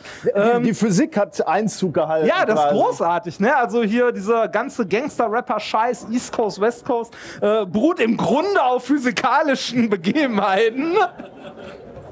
So ansatzweise zumindest. Wer, wer, wer Also, war das nochmal? Tupac. Dr. Tupac, den ich hinzufügen möchte. Ähm, also hier nochmal diese rechte Handregel kurz dargestellt. Wir haben Strom, wir haben äh, Feld und wir haben die Kraft. Aber müsste Daraus, eher dies hier sein? ja, so, genau, okay. das kommt ja jetzt. Daraus so, okay. resultiert halt, ja, mach doch da. Daraus resultiert halt diese Geschichte. Wenn der, äh, wenn das Magnetfeld Nord-Süd in diese Richtung zeigt, dann fließt der Strom halt so rum. Äh, das gleiche Prinzip wird auch bei Magnetschwebebahnen eingesetzt, wie ich links unten sehe. Diese Folie habe ich nicht gemacht. das möchte ich der bin, äh, das, das ist relativ interessant, weil äh, was ihr gerade erlebt ist. ist äh, PowerPoint-Karaoke. Er, er hört einfach nie auf zu reden. Das sind meine Folien für meine Experimente gleich. Ich habe doch er gerade gesagt, weiter. macht ey, das ist doch für ein Herr. Redford ist auf Autopilot. Yes. Du wolltest uns aber noch ein Paper vorstellen, oder? Nö. Nein, ähm, ich sollte also, um dieses Experiment eigentlich zu motivieren, wollte ich ein Paper finden, ähm, das irgendwie mit Magnetfeldern zu tun hat. Das ist natürlich relativ schwer, weil das interessanteste Paper in der letzten Zeit, das mit Magnetfeldern zu tun hat, hat der Herr Wörl mir schon vor der Nase weggeschnappt mit diesen Scheißketten. Ähm, Daher musste ich was anderes suchen. Ich habe aber etwas gefunden, das äh, nicht ganz so aktuell ist. Es ist trotzdem aus diesem Jahr, es ist aus dem April. Ähm, ein, wie ich finde, unglaublich interessantes Paper. Und zwar hat es den klangvollen Titel Effect of Magnetic Field on Dispersion of Hop Extract and the Influence on Gushing of Beer. so, auf Deutsch gesagt, Gushing. Weiß einer von euch, was Gushing ist? Okay, wusste ich vorher auch nicht, also zumindest kannte ich diesen Begriff nicht. Ähm, das ist die Tatsache, wenn man ein Bier öffnet und es wie wild überschäumt, ohne dass man es vorher geschüttelt hat. Also ein plötzliches Überschäumen des Bieres, das nennt man Gushing. Und das ist tatsächlich ein Problem und bei alkoholfreiem Bier deutlich ausgeprägter als bei alkoholhaltigem Bier.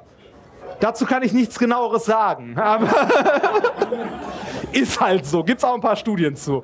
Ähm, dieses Paper, das erschienen ist, das ist ähm, von der katholischen Universität in Löwen, äh, katholische Universität Löwen in Belgien. Jetzt würde man ja sagen, okay, katholische Universität, äh, Naturwissenschaft, katholisch, problematisch, aber äh, von dieser Universität kommen tatsächlich äh, Größen, die auch was äh, für die äh, Informatik getan haben, und zwar die beiden Entwickler vom äh, Advanced Encryption Standard, also AES, die kommen auch von dieser Universität. Fand ich faszinierend. Ähm, die haben ein äh, Paper veröffentlicht, wo die sich mit Gushing beschäftigt haben. Und zwar haben sie sich erstmal die Ursachen von Gushing überhaupt angeguckt. Warum schäumt Bier manchmal über, ohne dass es geschüttelt ist, wenn man es öffnet? Der Grund für Gushing liegt in einem Protein, das äh, nennt sich Hydrophobin. Äh, Hydrophobin ist ein ähm, Protein, das von Flechtenpilzen erzeugt wird, während die in die Höhe wachsen. Das ist ein, ähm, ein Protein, das sehr äh, hydrophob ist und die Oberflächenspannung des Wassers senkt und damit das in die Höhe wachsen dieser Pilzflechten begünstigt. Diese Pilzflechten findet man immer in Ausgangsstoffen von Bier, also in äh, Malz vor allem. Die wird man einfach nicht los. Also dieses Gushing ist im Grunde äh, zurückzuführen auf die mangelnde Qualität der Rohstoffe, mit denen man das Bier braut. Ähm, diese Hydrophi äh, Hydro na, Hydrophobine sind extrem oberflächenaktiv und extrem stabil. Also das Bier einfach aufzukochen wird zum Beispiel nicht reichen. Die überleben auch Temperaturen deutlich über 100 Grad. Ähm, diese ähm, Hydrophobine sind halt ähm, Proteine, die an CO2 binden und dann so CO2-Cluster in der Flasche bilden. Also die sind, wie gesagt, sehr oberflächenaktiv, bilden diese CO2-Bubbles aus und binden sich gern dann auch an Oberflächen. Das heißt, ähm, je mehr ich von dem Zeug im Bier drin habe, desto mehr Bläschen bilden sich am Rand von alleine, weil sich da das CO2 sozusagen ansammelt an den äh, Stellen, wo dieses Protein halt irgendwelche Bindungen eingehen kann. Wenn ich jetzt die Flasche öffne, habe ich wieder das gleiche wie bei der geschüttelten Bierdose. Ich habe diese Mikroblasen, die man, so, also die man hat am Rand, die durch dieses Hydrophobin äh, begünstigt wurden, die dann durch den Druckabfall spontan größer werden, nach oben schießen und das ganze Bier mitnehmen und äh, das Bier halt zum Überschäumen bringen. Man kann diese Hydrophobine äh, nicht minimieren, weil die Rohstoffe halt schon damit quasi kontaminiert sind und man das nicht minimieren kann. Was man machen kann, man kann versuchen, diesem Hydrophobin ähm, etwas zu bieten, woran es sich binden kann, was nicht CO2 ist, also einen Zusatz zum Bier dazu packen. Was sich ähm, da bewährt hat, beziehungsweise was man auch hier in Deutschland zusetzen darf. In Belgien, die mischen eh jeden Scheiß ins Bier. Ähm, was man auch hier in Deutschland zusetzen darf, ist Hopfenextrakt. Hopfen, also die, äh, der Extrakt aus, äh, aus Hopfen, äh, halt irgendwelche Öle, ähm, die dann an diese Hydrophobine binden und damit quasi die Bindungsstellen fürs CO2 besetzen und damit ein äh, Gushing quasi ähm, unterdrücken bzw. vermindern. Das Problem ist jetzt, man muss relativ viel Hopfenextrakt in so ein Bier reinhämmern, damit das Gushing unterdrückt wird. Ähm, das Problem dabei ist, dass Hopfenextrakt einen Eigengeschmack hat. Das heißt, das Bier wird verdammt bitter. Stauder zum Beispiel. äh, ja, aber es ist scheiße bitter, oder? Also sehr herb. Ähm, das möchte man nicht unbedingt. Man möchte den Geschmack äh, nicht unbedingt verfälschen und möchte deshalb vielleicht weniger Hopfenextrakt benutzen. Eine Möglichkeit, dies zu tun, ist, ähm, jetzt kommen wir zu den magnetischen Feldern, das Bier vor der Anreicherung an CO2 durch eine Leitung durchzuschicken, die mit einem fetten Ringmagneten umgeben ist. Das heißt, ein äh, Magnetfeld, das das Bier durchsetzt, während es ähm, quasi mit dem Hopfenextrakt versetzt wird. Dadurch ähm, wirkt nämlich eine ähm, Kraft auf das Hopfenex, äh, auf, äh, auf die Moleküle des Hopfenextrakts äh, und verteilt das im Bier deutlich besser, wodurch die Oberfläche massiv vergrößert wird und man mit weniger Hopfenextrakt den gleichen Effekt ähm, erzielen kann, dass weniger Gushing auftritt, weil sich weniger CO2 zu diesen Clustern zusammenbilden kann, weil mehr Oberfläche an dem äh, Hopfenextraktmolekülen quasi zur Verfügung steht, um das CO2 zu binden, wodurch äh, das Gushing unterdrückt wird. Ich finde, das ist Forschung, die von Steuergeldern finanziert werden sollte. Dafür würde ich sogar Geld bezahlen. So, ähm, habe ich noch irgendwas vergessen? Äh, nein. Damit bin ich durch. Damit habe ich Magnetfelder Oh, irgendwie ähm. ähm, versucht zu motivieren. Ich komme noch mal zum Herrn, tu Herr, Herrn Dr. Tupek zurück, weil ich habe auch noch ein, ein kleines äh, Experiment äh, zum Ah. Entschuldigung. Ähm, wenn ihr das zu Hause mal ausprobieren möchtet, ihr müsst nicht zwingend ein Kupferrohr nehmen. Ähm, ihr könnt irgendeine metallische Röhre nehmen, wo ich das gerade sehe. Was auch relativ gut funktioniert, ist, wenn ihr einen fetten, also einen relativ großen Neodynmagneten nimmt. Also sowas hier in der Größe reicht schon. Und das mal durch so eine Alufolie durchschmeißt. Das funktioniert auch wunderbar. Dann seid ihr wieder bei diesem klugscheißer Partywissen, wenn ihr auf einer Party euch unbeliebt machen wollt. Also nehmt euch eine, eine Rolle Alufolie und schmeißt da Magneten durch. Funktioniert genauso gut. So, Entschuldige. Nee, nee, äh, das war ja wichtig. Klugscheißen ist wichtig. äh, ich habe noch zwei kleine Experimente. Ähm, einmal zu dieser Drei-Finger-Regel vom, vom Herrn Tupek. Ähm, äh, der kleinste Elektromotor der Welt, den hatten wir auch schon mal in der Sendung. Äh, der, der besteht nur aus einer Batterie, einer kleinen Schraube, also so einer Holzbauschraube und einem Magneten. Also ich habe jetzt so mehrere dünne, relativ starke Magneten übereinander gepackt, äh, die man so von unten an die, äh, an die äh, Batterie äh, haftet. Ich hoffe, man kann das jetzt sehen, äh, weil, weil da braucht man schon ein bisschen gute Augen und ich darf nicht zu, zu sehr zittern. Aber ihr seht, dass die Schraube sich dreht, sobald ich hier unten kontaktiere und gar nicht so wenig. Also sie nimmt richtig Schwung auf und rollt halt jetzt auch noch, weil sie relativ wenig Reibungswiderstand hat. Ich muss Ähm, sagen, ich sehe das nicht mal von hier aus. Dann lade ich gleich alle ein, noch näher z- an, an mich ranzukommen. okay, ähm, ja, okay. Äh, näher, näher kann ich es euch jetzt leider nicht zeigen, aber äh, das könnt ihr mal zu Hause ausprobieren. Also alles, was ihr braucht, ist halt ein, äh, eine Batterie, äh, eine, eine Schraube und ein Magnet und eben ein, ein Draht, äh, ein leiten, elektrisch leitenden Draht, den ihr eben mit, mit der Batterie, mit dem Minuspol und dem, dem Magneten verbindet. Was dann passiert, ist eben genau das hier. Also wenn ihr, wenn ihr euch die, diese drei, oder hier, ähm, die Drei-Finger-Regel vor Augen führt, ähm, wir haben eine Bewegungsrichtung der Elektronen, also sie bewegen sich durch unser Kabel und durch dieses Magnet durch. Wir haben Magnetfeld. Und wenn man sich dann, wenn man sich das hier überlegt, wie, wie die aufeinander stehen, dann hat man noch eine Kraft, eine Kraft, die auf die Elektronen wirkt. Da sind wir wieder bei der dicken Freundin, die aus dem Kanu geschmissen wird. Äh, jetzt wundern sich alle, die später gekommen sind, äh, äh, über, über was wir vorher schon alles geredet haben.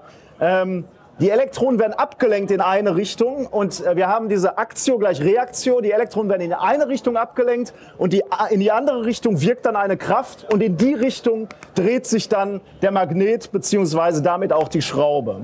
Ähm, wir, wir kommen jetzt leider zu dem Problem, dass wir eigentlich noch ein Experiment gehabt hätten, um diese Regel hier zu, zu erläutern.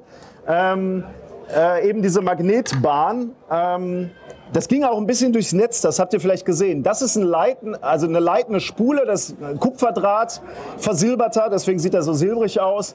Ähm, da kann man auch ein schönes Experiment mitmachen, wenn man nicht die Magneten vergessen hätte dafür. Nein, du hast echt die Magneten. Ich hab die jetzt du hältst wirklich- mir immer einen Vortrag von wegen Vorbereitung und dann vergisst du was für ein Experiment. Der Herr Remford reist mit leichtem Gepäck und wirft mir vor, dass ich einen kleinen Magneten vergessen habe. Ich reise auch alleine, verlassen, nicht geliebt. Da kann ich jetzt nichts zu sagen. äh, wir, wir könnten mal versuchen, ob, das, ob die weniger Magneten das auch tun, aber ich fürchte fast nein. Oder, oder wir nehmen die, äh, wir nehmen die, ähm, diesen, diesen, Möchtest du das mit dem Rohr ausprobieren? Ja, es funktioniert leider nicht. Die, die Magneten sind zu schwach. Wenn, ihr- wenn ihr ordentliche Magneten habt, dann flitzt diese, diese, äh, diese Batterie wie eben so ein, äh, so ein ähm, Transrapid durch, äh, durch eure Metallspule. Ah, doch, es geht doch so. Äh, also so ansatzweise geht es dann doch. Ähm, ich versuche das nochmal da rein. Also, naja, ihr erahnt es. Also wenn ihr so das ein oder andere Experiment von heute euch nochmal angucken möchtet, wir haben auch ähm, die Experimente, die wir in unserem Podcast sonst machen, immer bei YouTube hochgeladen. Da seht ihr es dann noch ein bisschen deutlicher. Beispielsweise diese Gurke kann man auch richtig hellgelb leuchtend sehen. Ähm, das kann auch richtig gut funktionieren mit den richtigen Magneten.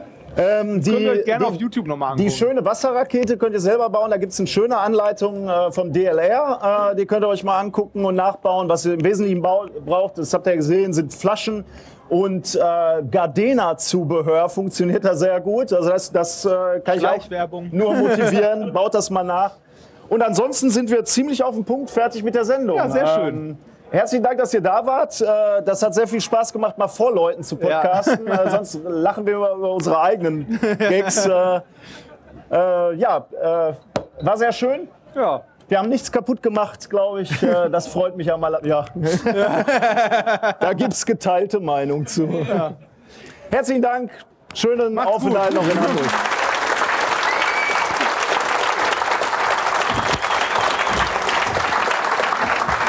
Das war gut.